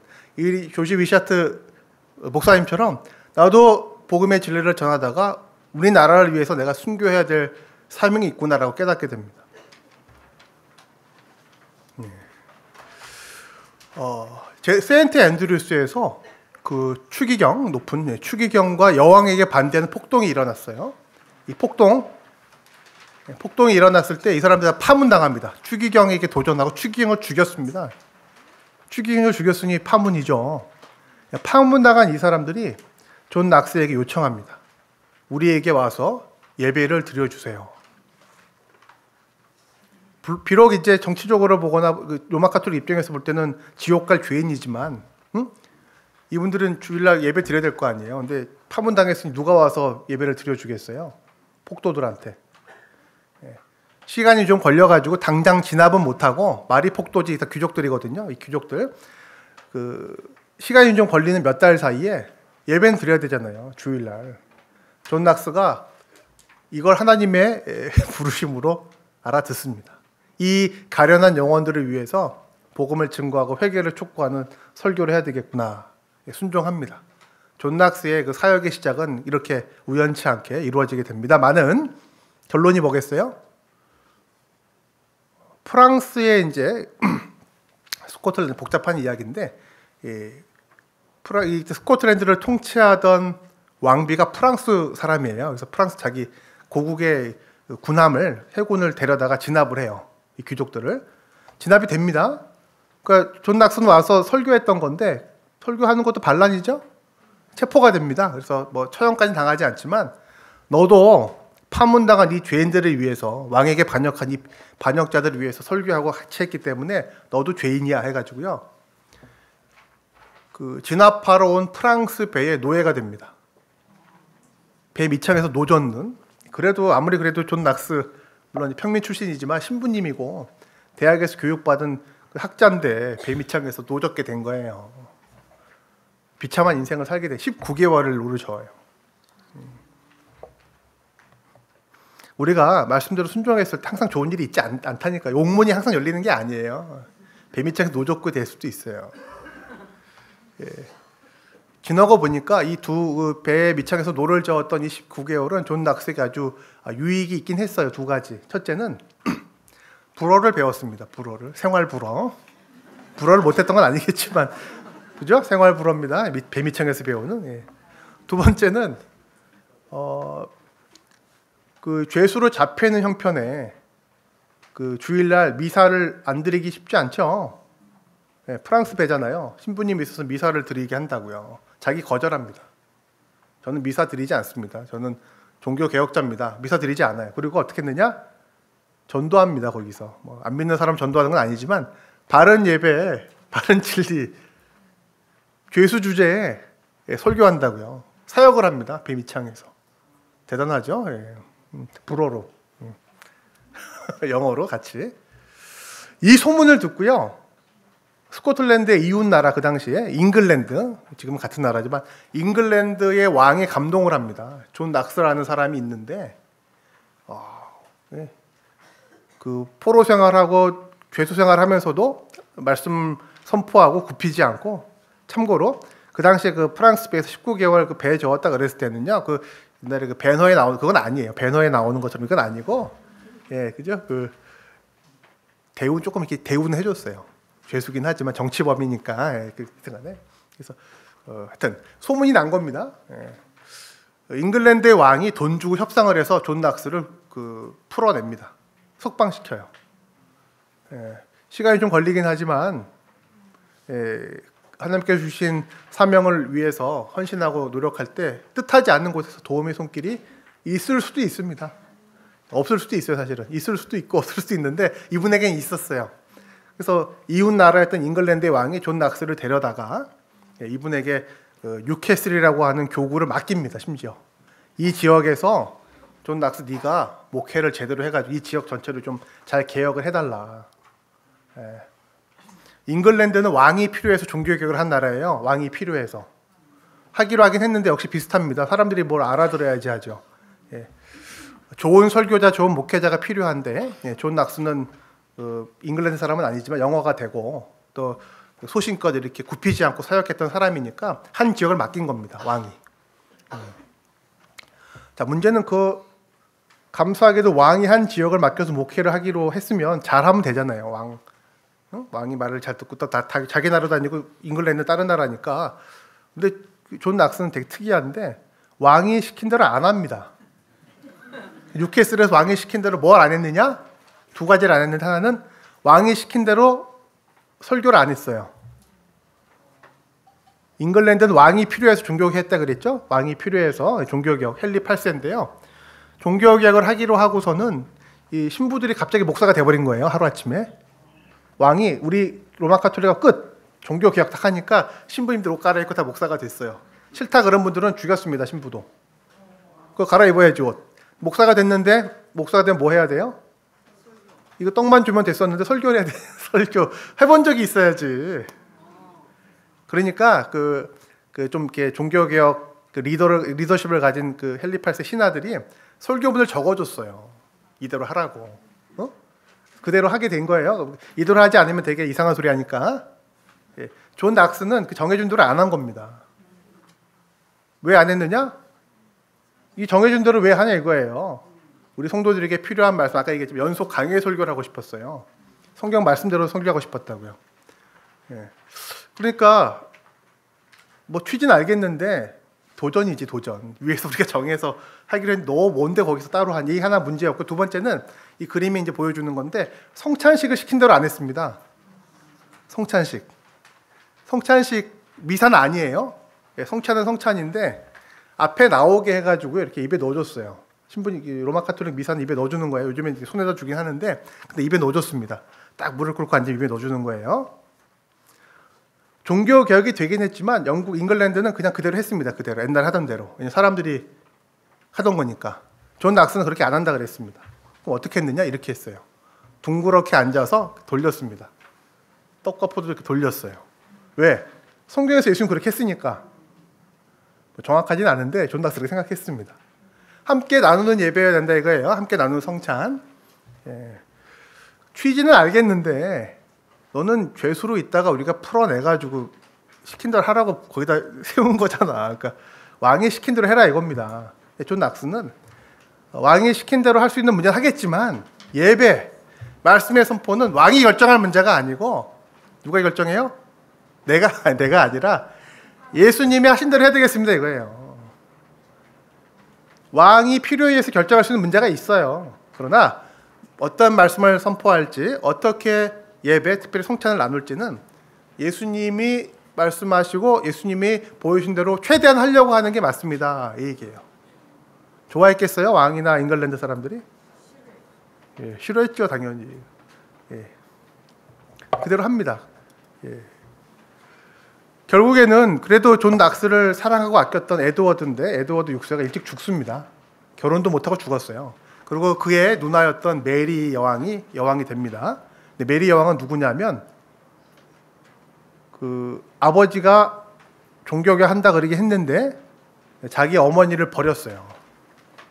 얘기가 되게 길고 복잡한데 메리 여왕 메리는 공주였는데 쫓겨난 공주예요 어머니하고 같이 혼자 숨어서 미사 드리고 천주교 신자로 남았던 예, 공주였습니다. 자기 동생이 갑자기 죽고 나서 여러 가지 정치적 이유 때문에 메리가 여왕이 됩니다. 여왕이 딱 되자마자 아버지하고 동생 했던 거 다 뒤집어 엎고 우리 다 같이 다시 로마 카톨릭으로 돌아가자 했던 사람이에요. 별명이 Bloody Mary입니다. 피의 메리. 그래서 아버지 때 자기 동생 때 뭐 종교개혁 하자 그러고 했던 사람들 다 처형시켜 버립니다. 반역죄로 이단죄로 막 다 죽였어요. 예. 존 낙스는 피난갑니다. 도주합니다. 자기 나라 스코틀랜드는 못 가요. 거기도 로마 카톨릭이니까. 그래서 어디로 가냐면 프랑크푸르트라는 아시죠? 소세지가 유명한 독일 예, 도시로 도망갔다가 다 생략하고 결국엔 제네바로 가게 됩니다. 제네바. 칼빈이 있던 제네바로 가게 됐어요. 피곤한 도주의 생활하게 되는데 아까 봤던 그 건물이에요. 칼빈이 그 주중에 설교했 그 뭐야 성경 공부했던 건물 있죠? 칼빈이 존 낙스를 맞이해 줍니다. 자기 나라에서 쫓겨나고 자기를 그 품어준 잉글랜드에서 또 쫓겨난 두 번 쫓겨났어요. 사실 프랑크푸르트에 갔다 또 쫓겨났습니다. 세 번 쫓겨난 칼빈 한 번 쫓겨났는데 존 낙스는 세 번 쫓겨납니다. 예. 정치적인 이유로 쫓겨난 존 낙스를 칼빈이 받아줍니다. 그리고 어떻게 했냐? 마틴 부처가 자기 때 했던 것처럼 해줍니다. 거기도 이제 영어 쓰는 교인들이 많이 제네바, 제네바가 아까 얘기했죠. 여기가 참 좋은 곳이고 예루살렘이 이런 얘기가 있었단 말이에요. 많이 제네바로 왔습니다. 이 사람들 중에 영어를 쓰는 사람들을 위해서 불어 못 알아들으니까 존 낙스에게 그 잉글랜드, 스코틀랜드에서 온 사람들을 데리고 네가 목회를 해라. 자기가 주중에 강의하는 이 건물이 주일날은 존 낙스가 영어 쓰는 성도들하고 예배드리는 예배당입니다. 예. 이게 은혜와 배려라는 것은 전수가 되는 것 같아요. 그 존 낙스가 여기서 이제 목회를 할 때 어떻게 했겠어요? 자기 고집 듣고 다 있지만 바로 옆에 이제 칼빈이 목회하는 거 보면서 고대로 합니다. 어, 예, 중요합니다. 마틴 부처가 칼빈을 챙겨줬듯이 칼빈이 존 낙스를 예, 챙겨줍니다. 자, 여기서 두 가지 배웁니다. 존 낙스가 여러 나라에서 나름대로 왕의 인정까지 받으면 사역도 하고 했지만 잘 안 됐었어요. 아까 자기가 말씀대로 가르치고 뭐 성찬 이렇게 하고 했지만 사실은 잘 안 됐었거든요. 네. 제네바에 와서 칼빈이 하는 모습을 보면서 왜 안 됐었는지 또 어떻게 해야 되는지를 나름대로 깨닫게 됩니다. 두 가지를 깨닫게 되는데 예, 그 중에 하나가 똑같아요. 우리가 했다는 거예요. 말씀을 가르쳐야 되는구나. 예배를 이렇게 드리고 이렇게 하는데 주일날 한 판으로 안 된다 이거예요. 어? 주일날 그 당시에는 설교 1시간에서 1시간 반 정도였거든요. 지금 1시간 반이면 큰일 납니다. 30분입니다. 예. 한 시간 반 갖고 안 되는구나. 아. 이건 또 사담이긴 한데요. 요, 우리 우리 세대라 그러면 좀 죄송한데 기성 세대는 좀 괜찮습니다. 제가 느끼긴 그래요. 기성 세대는 뭐가 괜찮냐면 설교 시간에 목사님들이 설교할 때 좀 알아듣습니다.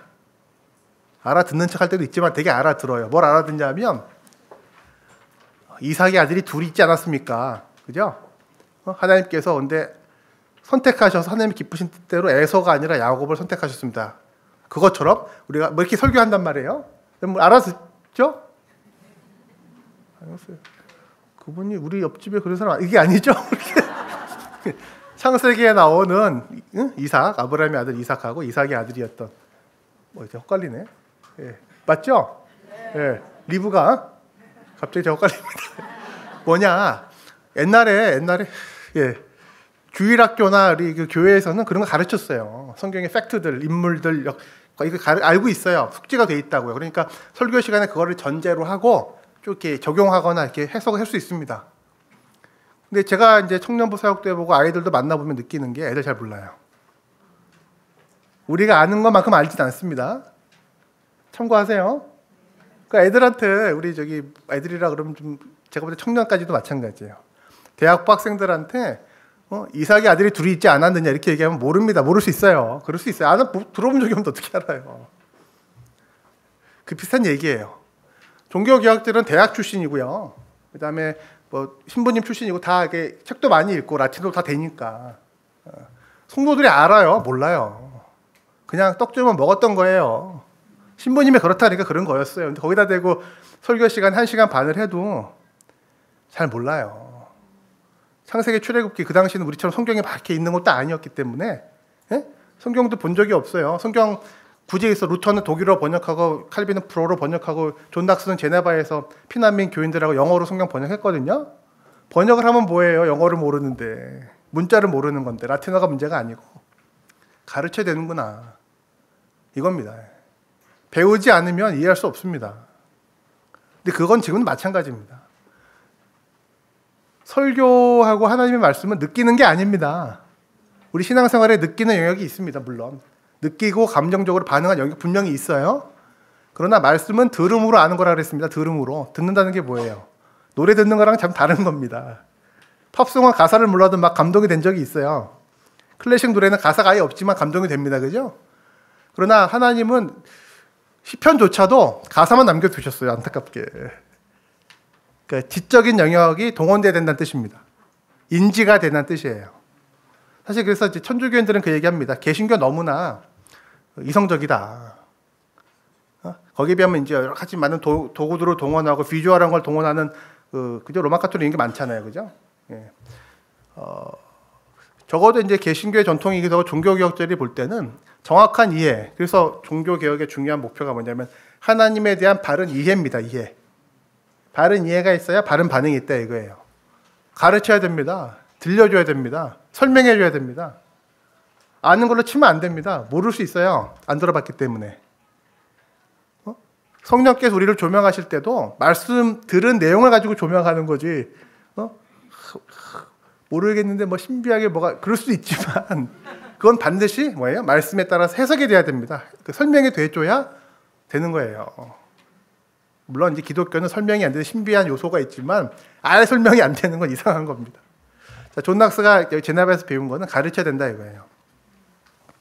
스스로 본인들이 성경을 읽고 준비를 해서 예배 드릴 때 함께 말씀을 듣고 말씀을 듣고 나서 땡이 아니고 예, 또 집에 가서 말씀 보고 읽고 어떻게 자기 삶에서 적용할 수 있도록 하기 위한 예, 말씀의 가르침이 있어야 된다 이겁니다.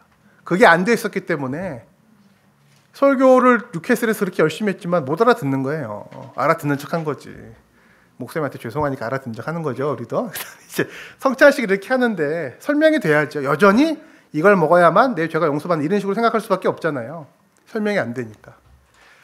설명의 중요성. 두 번째로 존 낙스가 제네바에서 배운 것은 어, 삶 전체가 예배가 되게 하기 위해서 바른 제도가 필요하고 이겁니다. 바른 제도. 특별히 존 낙스가 느낀 것은 왕이 국가가 주도해서 교회를 이끌어 나가는 거 안 된다 이거예요. 이게 핵심입니다. 그럼 누가 해야 돼요? 왕 역시도 하나의 지체일 뿐이고요. 우리 주인 되신 예수 그리스도께서 교회와 우리 사회 전체의 주인으로 우리 공동체를 이끌어 나가시게 하는 제도를 세워야 된다는 겁니다. 교황청에 뭐라 그랬냐면요. 예수님이 주인이에요, 거기도. 예수님은 주인이신데 지금 승천에 가셨어요. 안 계세요. 그래서 베드로와 그의 후계자들인 교황한테 맡긴 거라 이거예요. 그게 교황 제도의 주장입니다. 맡겼다 이거예요. 그러니까 내가 구원 줄 수도 있고 안 줄 수도 있고 떡을 예수님 몸으로 만들 수 있고 다 나한테 열쇠를 주고 맡겼기 때문에 내가 한다. 이게 교황청의 주장이고요. 잉글랜드 같은 경우는 교황한테 맡긴 게 아니라 나한테 맡겼다 이거예요. 왕이 자기가 맡았다 이겁니다. 왜? 근거는 뭐예요? 구약의 여러 근거들을 막 대면서 다윗도 얘기하고 히스기야 이렇게 얘기했죠. 존 낙스가 볼 땐 다 틀렸어요. 교황도 아니고 왕도 아니고 목사도 아니고 예수님은 지금도 살아 계셔서 통치하시고 말씀하신다. 그럼 목사나 뭐 왕이나 교황이나 뭐 다 뭐예요? 다 머리이신 그리스도께서 세우신 그의 몸의 지체들이에요. 역할을 하는 거예요. 역할을 하는 거지 머리이신 그리스도께서 행하시는 권리를 침해하면 안 되는 거예요. 로마 카톨릭 교황제도의 가장 큰 문제는 뭐냐면 그 루터도 그랬고 칼빈도 그랬고 존 낙스도 그랬고 교황이라고 불리는 그 분이 자기가 담당한 교회인 로마에서 로마 로마에서 열심히 말씀 가르치고 예배 인도하고 목회한다면 나는 그분 반대하지 않겠다 그랬습니다. 근데 그분이 성경에도 없는 이상한 얘기를 하면서 전 세계의 교회를 자기가 다 통치한다 그래 가면서 자기 말을 안 들으면 파문을 시키고 예, 자기가 필요하면 면죄부를 팔고 그런 권한을 예수님이 준 적이 있냐 이겁니다. 목사에게는 구원을 주고 안 주고 하는 권한을 예수님 준 적이 없어요. 있어요? 예. 없습니다. 목사 목회자에게 주신 지체로서의 역할이 뭐냐? 딱 찍어서 아저씨는 구원 아님 이거 아니고 준 적이 없어요. 응? 목회자에게 준 역할은 말씀 잘 가르치는 거라니까요. 그리고 말씀대로 교회와 성도들이 순종할 수 있도록 돕는 역할이에요. 예. 그걸 넘어서 버린 거죠. 넘어서서 예수님이 하실 수 있는 구원의 은혜의 역할을 침해하고 있다는 거죠. 왕도 안 되는 거고, 예, 교황도 안 되는 거고, 목회자도 안 되고, 그 누구도 안 된다는 거예요. 예. 그게 존 낙스가 깨달은 어, 종교 개혁에 있어서 중요한 세 번째 과제, 제도의 개혁의 방향성입니다. 어, 스코틀랜드 자기 고향에 이제 돌아오게 됩니다. 자기를 괴롭혔던 여왕이 왕비가 이제 물러나고 예, 어린 딸, 예, 스코틀랜드의 어린 그 왕비의 딸이었던 또 메리예요. 메리 메리가 여왕으로 오면서 이제 스코틀랜드의 그 귀족들이 우리도 더 이상 프랑스 사람 밑에서 로마 카톨릭 하지 말고 우리 스코틀랜드인들의 교회를 세우자. 종교 개혁을 하기로 합니다. 존 낙스가 돌아오고 존 낙스가 1560년에 스코틀랜드가 종교 개혁을 받아들인 국가입니다. 이번에 도시가 아니고 예, 국가가 세워지는데 중요한 역할을 하게 됩니다. 그러나 존 낙스는 스코틀랜드에 돌아와서 개신교 대표, 뭐 개신교 추기경 이런 거 안 합니다. 응? 전국을 10개로 나눕니다. 10개 교구로 나누어서 10개 교구의 대표자들을 세워요. 그 모든 조직을 존 낙스가 합니다. 그러나 자기는 10개 그 교구에 말하자면 우리 식으로 하면 노회장 같은 거죠. 자기는 안 해요. 존 낙스의 직함은 뭐냐면 에딘버러 그 스코틀랜드 수도에 있는 이 교회 세인트 자일스 교회 설교자였습니다. 세인트 자일스 교회 작은 교회는 아닙니다. 큰 교회고 중요한 교회이긴 한데 이 교회의 담임 목사만 합니다. 왜냐하면 자기가 자기를 알아요. 모든 사람들이 자기를 바라보고 있고 자기처럼 이렇게 잉글랜드에서 인정받고 제네바에서도 인정받고 많은 글도 쓰고 주목받는 스코틀랜드인이 없습니다. 응? 자기가 손들고 무슨 얘기만 하면 다 될 걸 알기 때문에 자기는 오버하지 않습니다. 나는 이 교회의 설교자, 담임 목사란 말도 안 해요. 나 이 교회 설교자입니다. 이게. 물론 이제 많은 역할이 주어지긴 하지만 직분에 있어서 오버하지 않습니다. 자기 정도를 넘어서지 않습니다. 중요한 겁니다. 예. 어, 이게 그, 이 교회 뒤편에 있는 주차장에 남아 있는 이분의 무덤 표식입니다. 그 이 뒤가요, 그 언덕배기여서 공동묘지가 있었어요. 존 낙스 그 이 세인트 자일스 교회 옆에 언덕배기가 있는데 사모님도 여기 이제 묻히셨고 존 낙스도 여기 묻혔던 걸로 보이는데 이게 복개를 해버렸어요. 아스팔트를 해가지고 딱 했다고. 그래서 그 위에 23번 유명합니다. 그 세인트 자일스 교회 뒤에 있는 주차장 23번에 이쯤에 어딘가에 존 낙스의 무덤이 있었을 것이라는 표시만 있습니다. 예. 존 낙스는 장례식도 안 했습니다. 이거 좀 꼭 좋은 건 아닌데 존 낙스가 스코틀랜드에 돌아가 가지고요. 그 제도의 변화를 했죠. 제도의 변화를 어, 스코틀랜드 새로운 개혁 교회 어떻게 할 거냐 할 때 장례식 빼버립니다. 천주교에서 칠성례 중에 하나예요. 종부성사. 예. 근데 거창한 장례식 하지 않기로 하고 자기가 먼저 실천합니다.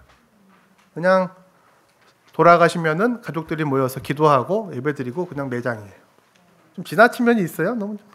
근데 그렇게 했어요. 예. 칼빈의 길을 따라간 것 같기도 하고. 그러나 우리 후대들은 굳이 찾아가지고 이렇게 표시해놨습니다. 그래서 사진 찍고 하긴 하는데 심지어 존 낙스 동상이 에딘버러 가면 여러 군데 있습니다. 동상들이 막 있어요. 예. 본인이 기대한 건 아니겠지만. 예. 아, 존 낙스의 유산에 대해서 한번 살펴보겠습니다. 아까 제네바에 가면요, 이 동상이 하나 있어요.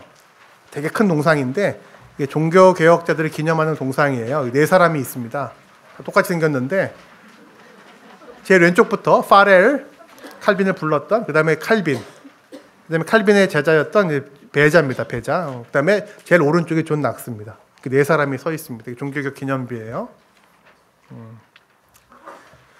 어, 종교개혁의 과제 중에 그 제도적인 변화의 부분에서 존 낙스가 기여한 부분이 있습니다. 아, 칼빈에게 배운 부분이 있긴 하지만 예. 어, 제일 중요한 거는 이제 우리가 예배드리고 우리가 살아가는 모든 그 구조적인 문제에 있어서 그리스도의 주권을 드러내자 이겁니다. 이신층의 교회도 그랬고요. 예, 우리 예배 개혁도 그랬고요. 예, 제도적인 개혁에 있어서도 제일 중요한 건 예, 하나님 중심이 되는 겁니다.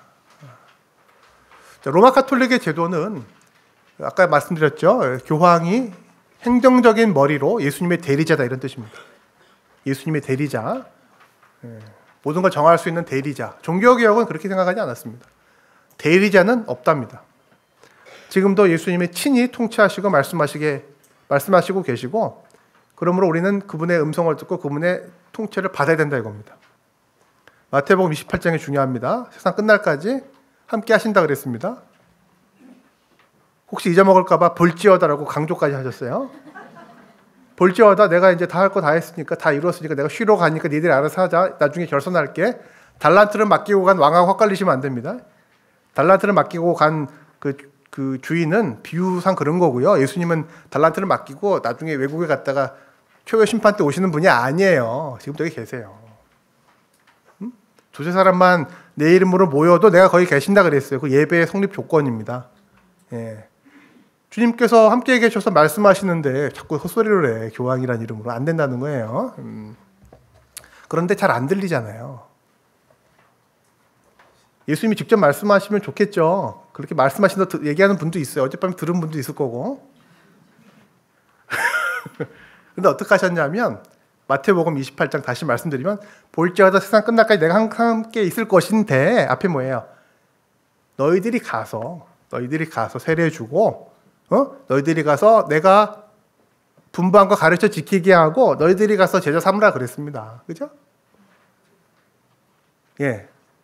여러분 이건 아실 거예요. 아셔야 예수님의 말씀하시고 살아계시고 함께 계시는 건 맞는데 어떻게 하나님 나라가 이루어지고 복음이 증거되냐면 너희들을 통해서 하시겠다 이겁니다. 사도들과 교회를 통해서 하시는 거예요. 예. 그참 미스테리입니다. 직접 하시지 왜 우리를 시켜가지고 또 우리 입장에서 좀 감사하긴 하지만 솔직히 민망하죠. 어? 예수님이 우리 직통 계시 받는 거 직접 하시는 게 하시면 좋겠는데 우리를 통해서 하십니다. 나를 통해서 하십니다. 감사가 되실 수도 있겠지만 사실 민망합니다. 왜냐하면 잘 못하거든요. 동영상을 올리셨더라고요 홈페이지에 민망합니다. 우리 어제 우리 졸업식이 있었는데 친구 교수님들이 와서 어 이거 보고 또 얘기를 하시더라고요. 그래서 보지 말라 그랬어요. 왜냐 얼굴 너무 크게 나와. 이것도 나오겠네. 아. 제 얼굴이 그렇게 큰지 몰랐어요. 우리 애들이 그렇게 얘기할 때 농담인 줄 알았는데 사실이더라고요. 자, 종교 개혁자들 내지는 예수님의 뜻이 드러나야 되는데 동영상을 보면 제 얼굴만 나와요. 그렇죠, 뭐. 우리가 그 성부와 성자와 성령의 이름으로 세례도 주고 우리 제자 아닙니다. 예수님의 제자로 삼고 우리가 원하는 게 아닙니다. 예수님이 가르치신 거, 분부하신 걸 가르쳐 지키게 하는 건데요. 잘 안 되잖아요. 그 예수님 때문에 안 되는 거겠어요? 성경에 문제가 있어서 안 되는 거겠어요? 전달하는 우리가 문제가 있으니까 자꾸 뭐가 섞여 들어가고 왜곡이 되고 그러는 거잖아요. 그러니까 제가 예수님이면 안 시킬 것 같아. 사도행전 보면은 바로 즉각적으로 문제가 일어납니다. 성령이 충만했음에도 불구하고 사고 친단 말이에요. 그런데 예수님은 굳이 시키십니다. 자기가 직접 하시는 게 훨씬 편해 보이는데 교회와 사도들과 우리 성도들을 시키십니다. 자기께서 사실은 성부, 성자, 성령 하나님께서 친히 하시고 예수님이 하시는 일을 우리한테 맡기신단 말이에요. 잘 못할까 아시면서 그 많은 뒷수습을 다 해가시면서 하십니다. 우리한테 맡기십니다. 애들한테 야 아빠 나갔다 올 테니까 청소 좀 해놔. 맡깁니다. 청소를 해놓으라 해서 열심히 했는데 와서 보면 청소가 아니고 더 힘들어요. 근데 왜 맡겨셨을까요? 왜 자녀들에게 그런 그 일을 하라 그럴까요? 사랑하니까 상 주시고 싶은 거예요. 예. 그리고 자기만 하시는 놀라운 구원의 역사에 참여하는 기쁨이 무엇인가를 알게 하고 싶으신 거예요. 뭐 전도 많이 하고 복음 잘 증거하고 제자 삼고 교회 이렇게 성장하면은 그 대가를 지불하는 게 아니고요. 인생의 가치와 우리의 본분과 우리의 목적이 뭔지를 깨닫는 그 상을 주고 싶으신 거예요. 우리의 본분이 뭐라 그랬습니까? 하나님의 은혜의 영광을 찬송하는 거잖아요. 그 일을 어떻게 하느냐? 예수님이 분부한 거 가르쳐 지키게 하고 예수님 제자로 삼고 세례 베풀고 함께 예배드리 이거 하는 게 하나의 영광의 찬송이 되는 겁니다. 어, 상잘 뭐죠 그 노래 잘 부르고 막 해가지고 연말에 연예대상 나와서 그렇게 하는 그런 것도 있지만 정해 놓으신 거예요.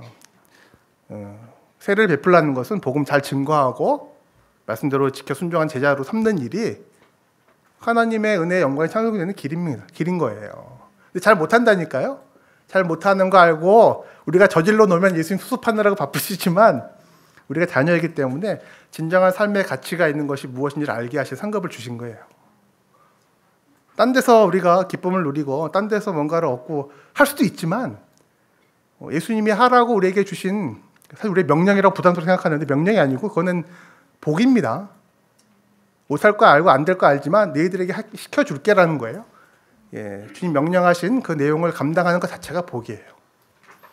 예. 그때 어떤 걸 어떤 게 복이냐면 제자들이 많아지고 교회가 뭐 커지고 이게 아니고요. 우리와 항상 함께 계신 예수님을 발견하는 게 복입니다. 네? 저도 전, 전도할 기회가 많이 없기도 한데 전도하잖아요. 전도. 전도하면 뭐가 좋냐면 전도하면은 전도는 교회 인도하고 좀 다른 겁니다. 교회 와봐 좋은 일이 있어. 우리 목사님 설교 들으면 이것도 있는데 자기 이름으로 복음을 전하는 전도. 전도를 하면은 다 믿게 되지는 않습니다. 뭐. 어? 사도행전에 보면은 전도를 했을 때 베드로가 전도했을 때 3천 명, 5천 명이 마음의 찔림을 받고 회개한 적도 있고요. 스테반이 전도했을 때 마음의 찔림을 받고 돌을 던진 적도 있어요. 돌 맞아 죽었다고. 그 전도의 반응은 다 변화는 아닙니다만은 한 가지는 확실합니다. 전도하면은 나에게 유익합니다. 내가 믿어지는 거예요. 구원의 확신이 없는 성도들에게 가장 좋은 구원 확신의 길은 전도하는 겁니다. 뭐 기도도 있고 성경도 있는데 기도하고 성경을 읽었을 때 정말 이게 맞는가 아닌가가 지금 확신이 안 되는 거라 그랬을 때는 도를 전하는 겁니다. 그러면 듣는 사람은 몰라요, 사실은. 그 성령께서 알아서 하실 거고 전할 때 한 가지 확실한 것은 나에게는 확신이 생깁니다. 왜냐하면 본 적도 없고 사실 믿어지지도 않았던 일이 믿어지게 돼요. 전도는 그런 은혜가 있습니다. 왜냐하면 내가 하는 일이 아니기 때문에 그렇습니다. 전도하시길 바랍니다. 힘 없으실 때, 지쳤을 때, 내 삶의 갈 길이 보이지 않을 때 삶의 삶의 갈 길이 뭐가 안 보여요? 그 전도하자고 그 일을 하는 것 뿐이었는데 전도했으면 좋겠습니다. 교회 오라는 건 인도고요. 그냥 교회 가고 안 가고는 그 다음 일이고 전도하는 여러분 되셨으면 좋겠고 음. 어, 우리의 삶도 그렇지만 그 교회 제도 전체가 어, 교회를 위한 복음이 아니고요. 복음을 위한 교회. 교회 조직을 위한 예수 그리스도가 아니고요. 예수 그리스도를 위한 교회가 되자 이겁니다. 그 핵심입니다. 예수 그리스도의 주권이라는 것이. 예, 많은 경우에는 우리 공동체가 중요하고 우리 교회가 중요한 나머지 성경도 이용하고요. 예수님도 도와주는 분이 될 때가 많습니다. 예, 존 낙스가 볼 땐 그건 아니고 예수님 있고 교회가 있는 거. 복음을 증거하기 위해서 교회가 세워진 거죠. 닭이 먼저인지 달걀이 먼저인지 애매합니다. 닭이 먼저예요, 달걀이 먼저예요. 애매해요. 복음이 먼저냐, 교회가 먼저냐는 애매한 문제가 아닙니다. 음, 제도적인 교회, 우리가 지금 모여서 직분을 맡고 이렇게 여러 가지 일을 하는 이 교회는 복음의, 즉 하나님 나라의 역사를 위해서 필요해서 당분간 있는 제도일 뿐입니다. 예. 오직 그리스도라는 개념이 여러 가지 개념이 있지만 교회론적으로 볼 때 아주 중요한 것입니다. 예수님을 생각해야 돼요. 어떤 예수님? 지금도 살아계셔서 동일한 말씀을 하시고 통치하시는 예수님. 참 중요합니다. 이게 왜 제가 참 중요하다 그러냐면 교회가 아프기 때문에 그래요. 오늘날 이 시대의 교회가 특히 한국 교회가 여러 가지 많은 문제가 있지만 구조적으로 문제가 있습니다. 제도적으로 또 공동체적으로 많은 아픔과 상처와 분열이 있습니다. 뭐다 케이스별로 그 사안별로 다 특징이 있고 다 사연이 있고 다 있지만 다 일반하는 건 무리가 있지만 한 가지 늘 아쉬운 거는 어, 목표가 다양합니다. 다 교회 사랑해요. 서로 이렇게 갈등이 있는 교회들 보면은 서로 이렇게 싸울 때 이쪽도 교회 사랑, 이쪽 교회 사랑. 너무 사랑하니 안 사랑하면 그렇게까지 안 싸울 것 같아요. 너무 사랑하는 거지. 교회를 너무 사랑하니까. 근데 뭐가 문제냐? 이분이 사랑하는 교회하고 이분이 사랑하는 교회 다른 거야. 내가 사랑하는 교회가 되기 위해서 너는 나가야 되는 거지. 이렇게 되는 거예요. 어, 뭐, 다 옳고 다 틀리고는 아니지만 이 부분은 당사자가 됐든 옆에 있는 분이 됐든 이건 점검해 와야 됩니다. 교회를 사랑하는 게 중요해요? 예수님 사랑하는 게 중요해요? 이건 생각해 봐야 됩니다. 응? 여러분, 교회를 사랑하시기 바랍니다. 그러나 우리 주님보다 사랑하면 안 됩니다. 교회가 교회 역사를 볼 때 1순위는 자기 자신이고요. 2순위는 교회입니다. 뭐? 우리 주님보다 사랑해서 우상이 되기 좋은 대상입니다. 예. 내가 우상이 될 수 있고, 그다음에 두 번째는 교회 이 믿음의 공동체 하나님 세우신 것임에도 불구하고 예, 우상이 될 수 있습니다. 사실 우상은 하나님 주신 좋은 것들이 우상 되는 겁니다. 사탄 마귀를 우상으로 믿는 사람은 특이한 경우고요. 되게 하나님이 주신 좋은 것들이 하나님보다 좋아지면서 우상 되는 거예요. 어, 어, 국가가 필요해서 도시가 필요해서 아니면 교회 공동체가 필요해서 예배도 맞춰가고 직분도 맞춰가고 이게 아니라 예수 그리스도가 주인이시니까 주님께 맞춰가는 제도, 주님께 맞춰가는 예배, 주님이 주인 되시게 하고 말씀하시게 하는 그런 우리의 삶이 되자. 어, 나라마다 지역마다 시대마다 조금씩 다를 수는 있습니다. 똑같다 그럴 수는 없어요. 그러나 방향은 목표는 우리 예수 그리스도의 주권이 실현되는 방향으로 가야 되는 겁니다. 참을 줄 알아야죠. 말 안 할 줄도 알아야죠. 안 할 줄도 알아야죠. 참 중요합니다. 의견이 다르지만 그 사람 죽일 사람 아닙니다. 왜? 내가 교인 삼았어요, 이 사람? 주인이신 예수님이 예정하신 은혜에 따라서 지체로 삼으신 겁니다. 잘못이 있을 때 권징도 하고 권면도 해야 되지만 정죄할 수는 없는 겁니다. 판문 못 시키는 거예요. 구원 여부를 왜 자기가 결정할 수 있어? 못 합니다. 말 안 듣는 동생이 있어요. 맨날 사고 치고 뭐 그래요. 감옥 가고 소녀당 가고 그랬다 그래요. 그래서 형 입장에서는 성실한 형 입장에서는 너는 내 동생 아니었으면 좋겠죠. 너는 우리 집 식구 아니었으면 좋겠죠. 호적에서 파고 싶지만 그렇게 얘기하면 안 되잖아요. 왜요? 내가 동생 삼은 게 아니고 부모가 낳은 거잖아요. 문제 많지만 부모님은 그 문제 많은 자녀를 그래도 변화시키고 사랑하고 싶잖아요. 세상에 부모는 안 그러기도 하더라고요. 우리 하나님 아버지는 그렇게 하지 않습니다. 자기가 택해서 독생자의 피로 구원하신 자녀들은 포기하지 않으시거든요. 우리가 볼 때 문제 있지만 나도 그랬었지만 어, 못하는 겁니다. 교회도 그런 거예요. 교회를 사랑한다 그랬을 때는 내가 설정해 놓은 그 무언가를 요구하면 안 됩니다. 교회 되고 교회의 설립자이시고 주인신 예수님이 정해 놓은 성, 성도들의 공동체 모습이 있어요. 그것을 확인하고 기억하면서 거기에 맞춰가도록 하는 거죠. 근데 대개는 교회에서 다시 말씀드리지만 문제가 있고 뭐 교회까지 아니고 우리 공동체에서 이렇게 어려움이 있을 때 보면 예수님 이야기는 잘 안 해요. 성경 이야기를 거론하면서 이렇게 안 하도 그건 안 합니다. 안 합니다. 그죠? 예. 왜냐면 민망하거든요.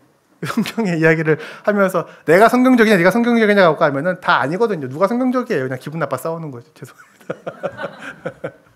예. 교회의 회복이 참 필요하고요. 하나 되는 모습이 참 필요하고 다 좋은데 우리의 필요에 맞추는 공동체를 세워가는 게 아니고 어, 이 교회 주인 되신 예수님의 뜻을 기억하고 거기에 맞춰가는 모습이 참 중요합니다. 그리스도의 주권, 끊임없는 교회의 개혁입니다. 끊임없는 교회의 개혁. 왜냐하면 우리는 늘 주님의 뜻보다 우리의 생각을 내세우게 돼 있거든요. 함께 모였을 때. 개인일 땐 괜찮은데 모이면 그런 모습이 있습니다. 늘 우리 모습 돌이켜 봐야 되는데 그 기준이 뭐예요? 하나님의 말씀과 하나님의 말씀대로 하려고 했던 모습들을 기억하면서 회복하려고 계속해서 노력해야 됩니다. 다 이루었다 그러면 안 됩니다. 다 이루었다 하는 순간 문제 시작입니다. 뭘 다 이루어요? 다 이루는 것은 언제 되느냐? 우리 주님 오실 때 되는 거고 다 이룬 것은 십자가에서 예수님이 하신 것만 다 이룬 겁니다.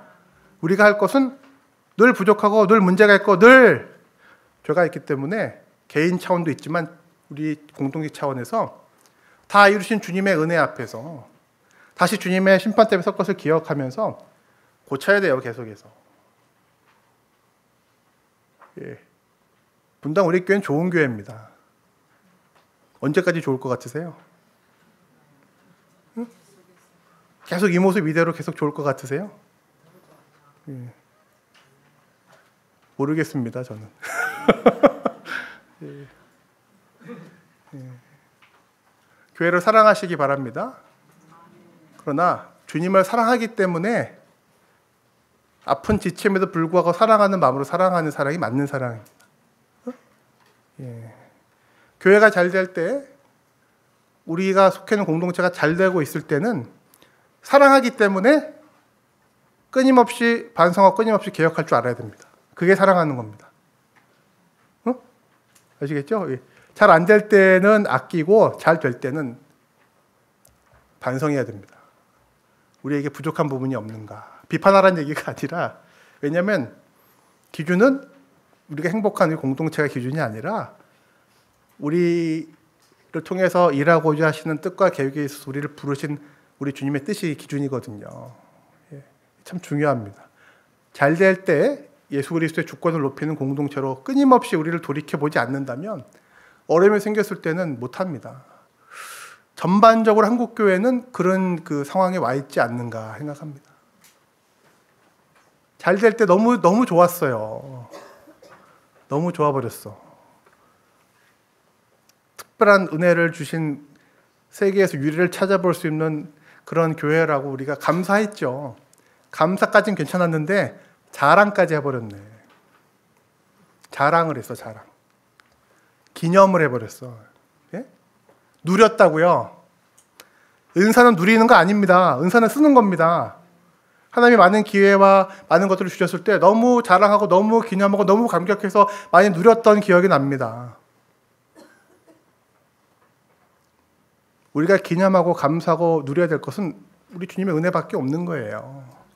근데 많은 것들을 주셨을 때는 쓰라고 주신 거예요. 어디다 쓰시겠어요? 예수님 명령하신 복잡하게 명령하셨습니까? 여러 가지 거 많이 부탁하지 않으셨어요? 예수님 우리한테 부탁한 게 복잡하지 않아요.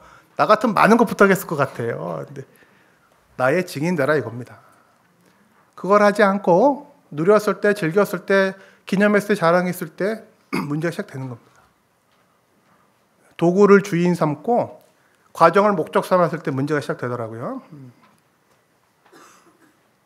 좋은 교회에서 은혜 받고 예배 드리면 행복하신 신앙생활을 지금 하고 계시다면 어, 여기서 조사오니 변화선의 베드로처럼 얘기하고 계시면 안 되고 그곳으로 우리 가야 된다 얘기했던 주님의 음성을 듣고 예, 이 좋은 회복과 은혜와 많이 배우고 받은 은혜들을 어떻게 증거하고 전파하는 나의 삶, 우리 교회, 우리 공동체가 될 것인가로 가야 됩니다.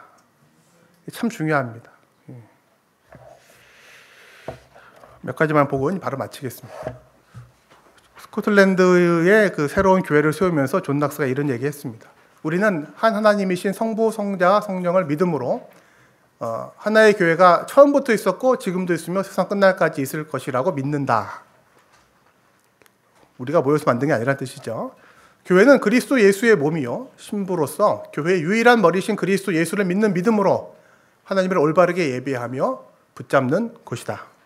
이 교회는 보편적이다. 왜냐하면 모든 시대와 모든 지역과 나라에 살면서 각자의 언어를 가진 사람들 중에 택함을 받은 자를 다 포함하는 교회이기 때문이다.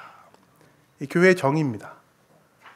뭐 해석을 좀 필요하긴 하지만 사람들이 필요해서 만든 조직체가 아니라 하나님의 택함으로 분명한 목적을 가지고 예배 공동체, 증인의 공동체로 세워진 것이다라는 고백입니다. 정리하면 그리스도의 주권이냐 아니면 나의 우리의 교회니까 우리의 명예냐 역시 예, 또 대조가 됩니다. 이렇게 관통시켜 봤습니다. 예. 교리, 예배, 제도. 하나님의 절대적인 은혜의 주권이냐 아니면 우리의 또 다른 그 무엇이냐 이겁니다. 아, 내비로 두면 우리께 들어오게 되어 있습니다. 가만히 내비로 들어오게 되어 있어요. 어? 가만히 내비로 두면 스며, 물이 스며들어 오듯이 예, 노력 안 해도 우리 것이 들어오게 되어 있습니다. 그러므로 우리가 해야 될 노력은 끊임없이 개혁해야 될 방향은 우리의 것을 낮추고 낮추고 상대화시키고 상대화시키고 하나님의 은혜와 그분의 영광과 그분의 주권을 드러내는 일에 전심전력하는 것입니다. 자신을 부인할 줄 아는 것입니다. 바울처럼 고백할 줄 아는 것입니다. 나를 십자가에 못 박아 죽고 이제는 내가 사는 것이 아니라 그리스도께서 사시는 것이다라고 하는 것입니다. 놀라운 신비인데 살면서 다 이룰 수는 없지만 방향성이 그렇습니다. 그리스도께서 다스리시게 하라. 그러기 위해서는 우리가 갖고 있는 인간적인 부분들 상대화 시킬 줄 알아야 됩니다. 도구화 시킬 줄 알아야 됩니다. 말씀으로 늘 돌아가야 되고요. 어, 교회는 끊임없이 다 이루었습니다. 그러면 안 되고 어, 부족한 부분이 있음을 말씀의 기준에 맞추어서 깨닫고 고칠 줄 알아야 됩니다. 음. 한국 교회는 더 이상의 부흥과 성장과 과시의 과제를 어, 가지고 있지 않는 것 같습니다. 우리 부모님 세대 때 교회가 막 부흥 성장하고 많은 그 감사의 제목을 가졌던 시절을 평가절하해서는 안 됩니다. 어? 산에서 자녀들을 위해서 어려운 나라와 민족을 위해서 교회를 위해서 잘 살게 해달라고 잘, 잘 살게 해달라고 했던 그 산에서의 기도 하나님 응답해 주셨습니다. 저는 그 기복 신학으로 저는 생각하지 않습니다. 왜냐하면 그거는 복을 달라고 기도한 게 아니라 살려달라고 한 기도에 가까웠기 때문입니다. 그렇게 하나님 우리에게 그걸 주시지 않으면 살 수가 없는 시절에 있었기 때문에 그렇습니다. 배가 고파서 이스라엘 백성이 기도했을 때 물이 없어서 기도했을 때 물 주셨습니다. 그 기복 신앙이라고 안 합니다. 그 많은 걸 얻었습니다. 우리가 많은 걸 얻었어요. 우리나라도 잘 살게 됐고요. 민주주의도 돼서 자유도 있고요. 이 기독교가 더 이상 시어머니에게 핍박된 받는 며느리의 종교가 아니라 사회에서 웬만큼 인정받고 영향력이 있는 괜찮은 교양 종교 됐습니다. 대통령 그 선거 나오는 후보들 알아서 와서 인사하고 그러잖아요. 하나님이 주신 축복과 은혜인 게 맞습니다. 예. 다시 말씀드리지만 부모님들의 그 세대의 그 순교하면서 핍박받으면서 했던 기도가 응답이 되었을 때 많이 누렸어요. 예. 우리 세대가 많이 누, 렸습니다 우리 다음 세대에게 할 말이 없어지고 있어요, 자꾸.